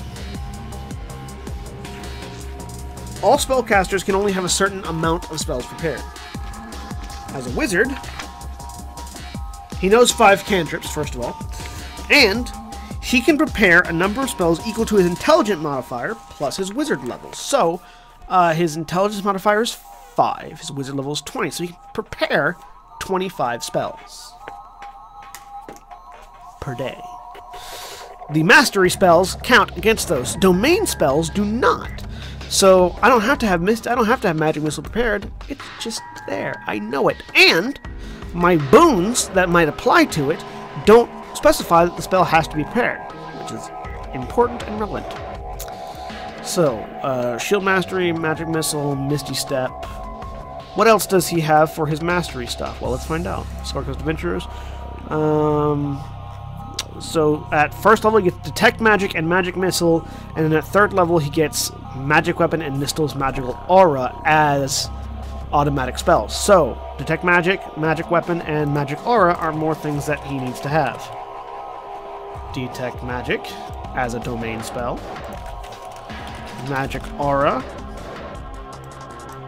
The Compendium on Roll20 also changes the names of something, so if it's a named spell, look for the non-named component of it, like Magic Aura instead of Nystul's Magic Aura, for instance. Um. And, um, what was the other one? Um, Magic Weapon. And so these are all domain.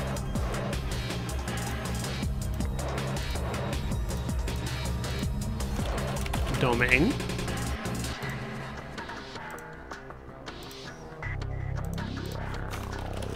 Domain. Alright, so we got his domain spells, we got his mastery spells. Let's let's figure out what his signature spells are going to be. And what his five standard cantrips are. So we'll start with cantrips. Cantrips. Um, wizards have a lot of cantrips. Wizards have the most cantrips options. So uh, just going with stuff out of the. Yeah. Yeah, exactly. In fact, Mordenkainen's Disjunction is Medivh's Disjunction in uh, Warcraft RPG. Although the Disjunction spell does not exist in 5th edition anymore, and I'm very sad about that. But uh, Firebolt is a yes. Yeah, he has a he has Firebolt. Come on, Firebolt and Shocking Grasp. Um, come on, come on, roll twenty. You can do it. You can do it. There it is. Okay. Um, he has Uh, message. Mage hand. Prestidigitation.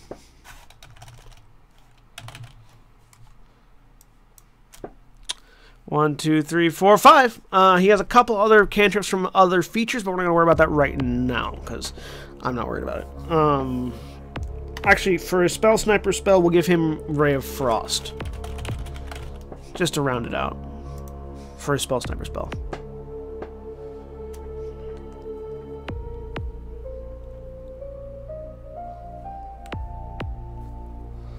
While we wait, um, he does have a passive bonus.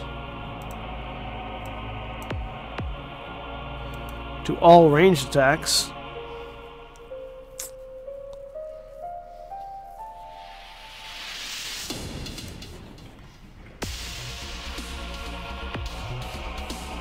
Hmm.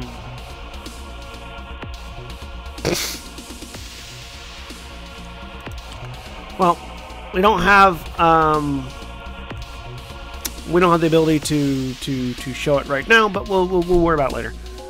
Um,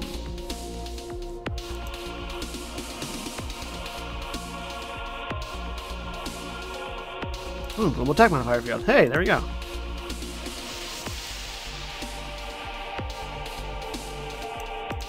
Uh, that's damage. I want...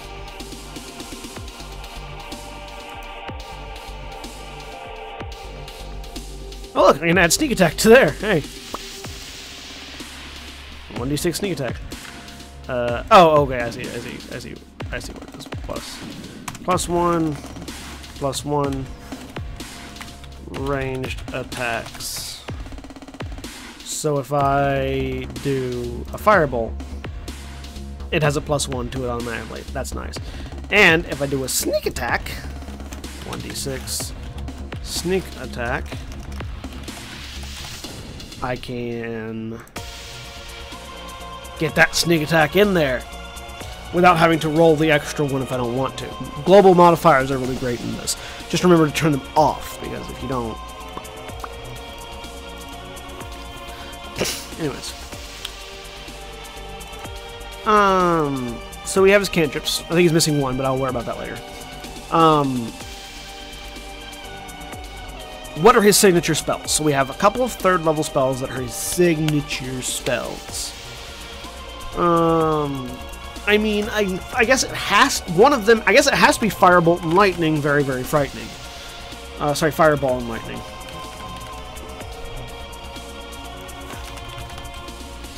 That one has to be Fireball and Lightning and and uh, Lightning Bolt.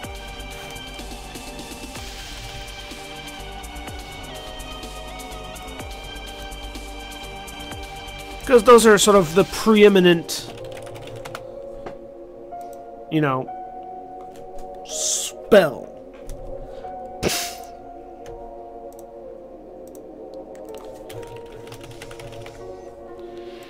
also, he definitely has counterspell. What else? Does, what else does he definitely have? Um,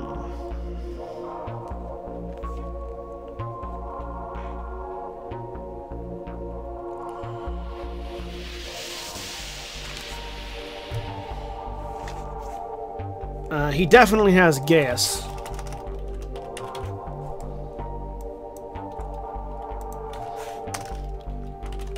Um, animate objects. Yes, he does.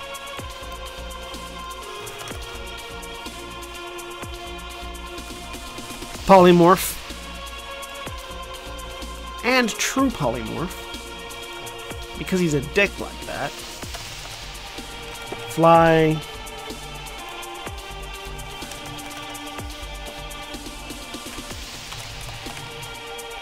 He has Mordenkainen's Magnificent Mansion, which in this case is Magnificent Mansion.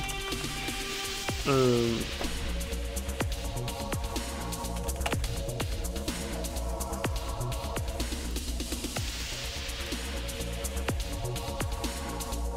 yeah, he probably has Mordenkainen's sword as well, which is just Arcane Sword in this.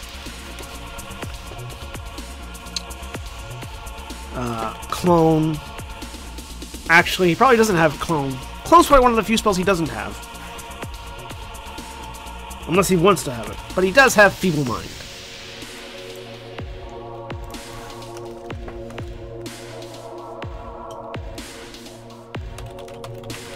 And Flesh to Stone. And Disintegrate. Does 5th edition have polymorph any object? Uh, poly yes, polymorph you can turn people into objects as well.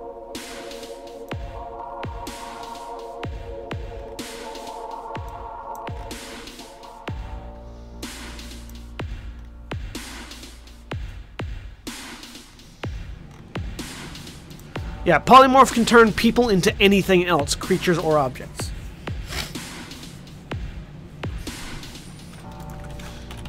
Modify memory. Yeah, they, they, they did a lot of compressing in 5th edition. They've took, like, all the various polymorph spells and just made them polymorph. Cure Wounds is only on, on first level, which he probably also has Cure Wounds. Being a cleric and having access to that.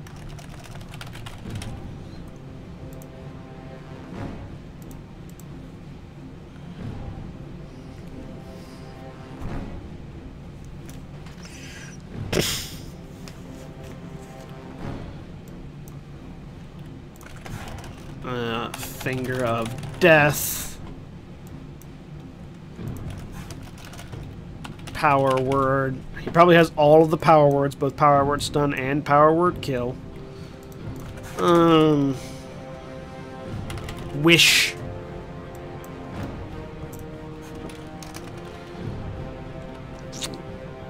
One, two, three, four, five, six, seven, eight, nine, 10, 11, 12, 13, 14, 15, 16, 17, 18, 19. We still have like six more spells he could probably have. But well, we're not gonna we're not gonna we're not gonna fill out all of those spells. Just sort of giving an idea of the things that I know he can do. Um.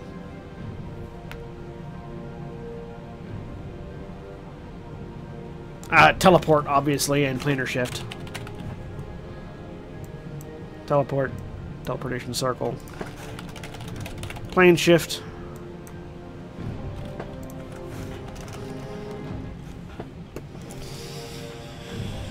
Oh. Uh, eh, we don't want to load him down with nine level spells. But yeah, so. He has a lot of options, is what we're saying. And uh, so that's basically it for... Oh, now we have to roll his hit dice. So you can do one of two things. You can either roll hit. So, uh, as a GM, you can do one of three things with with NPCs. You can either roll their hit dice. You can use the uh, half plus one, which is half the hit dice plus one um, plus your Constitution modifier. Or you can just give them maximum whatever their hit points would be if for NPCs. And so for Elminster, I'm going to give him maximum whatever his hit points would possibly be. So we've got GM roll uh, 10 plus 5 times 8 plus 29 times 6. He has 224 hit points. Doesn't seem like a lot, but it's he's immortal anyways. So if you if you take him down if you A, hit him, and B, take him down that much, then congratulations. Um,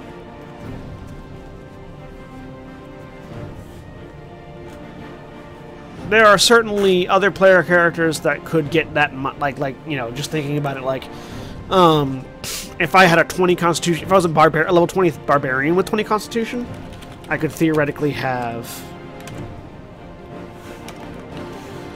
12 plus, or so 12 times 20 plus uh, 5 times 20. Yeah, like a, like a 20th level barbarian could definitely could theoretically definitely have more hit points than Elminster. But that's not the point of Elminster. Because Elmin you come at Elminster, he bonus action, hold person, action, power word, kill, or whatever. So yeah, we have Elminster all set and ready to go. If he ever encounters my poor, poor players, they don't want to. They don't want to deal with him. So actually, um, we got an hour left in the stream. I don't think I have a whole lot more time. I don't have I don't have enough time to make another character, but that just sort of shows the pro. Oh, oh, one last thing I have to do before I finish out. So, I made a token for Elminster. I have to now work. I have to now set this token to be Elminster. So I will go Elminster. Show nameplate. Hit points. AC. I'm going to make this 50 because the the uh, staff of the Magi, the staff of the Magi has uh, power points that it can use to you can use to cast spells in place of, or as charges that it can use to cast spells in place of your spell slots. So, um, so yeah, and, and its maximum charges are 50. So, so yeah, that's Elminster with a 20 AC and the ability to shield for 25. Uh, I've got him all set up there. So now I go here and go use select token, save. So now, if I want to very quickly bring Elminster out on the field, I can go boom, boom, boom, boom, boom. And if and if you ever come across a sight like five Elminsters in a row staring at you, you're probably going to die, but but yeah. So that's Elminster, the chosen of the chosen of Mystra, uh, the most powerful spellcaster one uh, uh, the, the realm of Faerun has ever known, and now a medium creature token on a blank field in Roll20 fully studded out for 5th edition D&D. So, thank you all for joining me for this adventure as we made Elminster. I think we're gonna we're gonna we're yeah we're, we're definitely gonna call it here.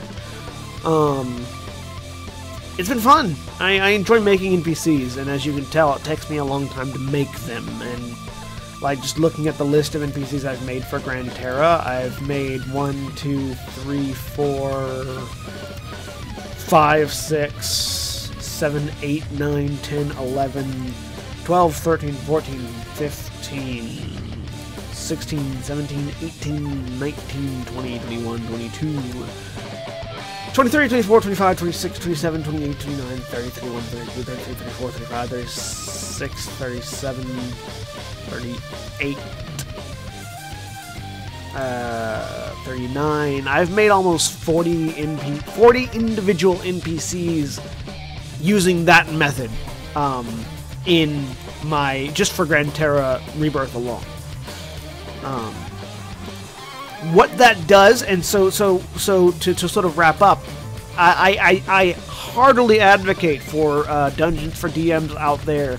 If you're making a named NPC or someone that you intend to be a, uh, an important uh, faction or important factor in your player characters' lives, feel free to make them like you would make a PC what that does, in addition to in addition to uh, helping you sort of get an idea as to what their power concept is, it familiarizes you with the systems that you're working with, which means that you're going to you're going to be able to answer questions a lot quicker than having to resort to the book because you've spent this time building these characters so you're familiar with how the mechanics work because you've been reading them over and over again but you but just reading rules is boring so you've been reading rules in order to fulfill the task of creating characters so it familiarizes you with the mechanics. Second, it makes your characters more believable and more real because you know where they're coming from. You know a little bit about their backstory. You know what their background is. You've you have written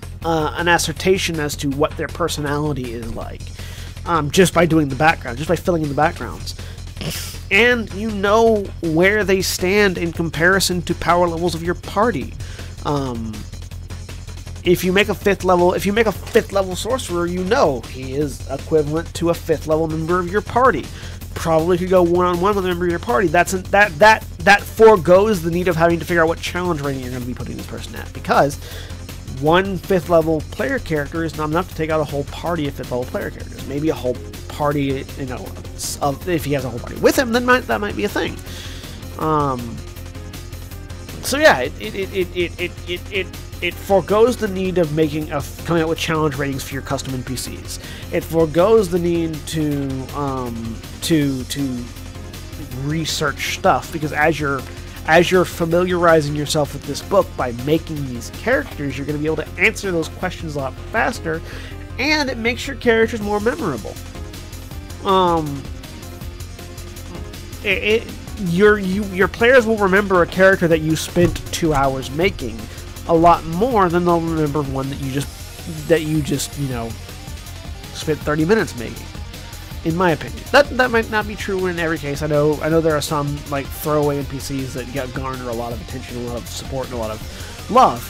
But when you're making a, when you're trying to make a memorable villain taking the time or even a memorable ally taking the time to figure out how they work internally is definitely worth it. Um, so yeah, I, I heartily advocate this for, for this and other systems. I, I use this very same setup for making NPCs for our uh, L5R game. In fact, making the sensei of my player, the sensei characters of my player characters in L5R has helped me understand their mechanics, the mechanics of their players a lot better, so that when they have questions, I can answer them.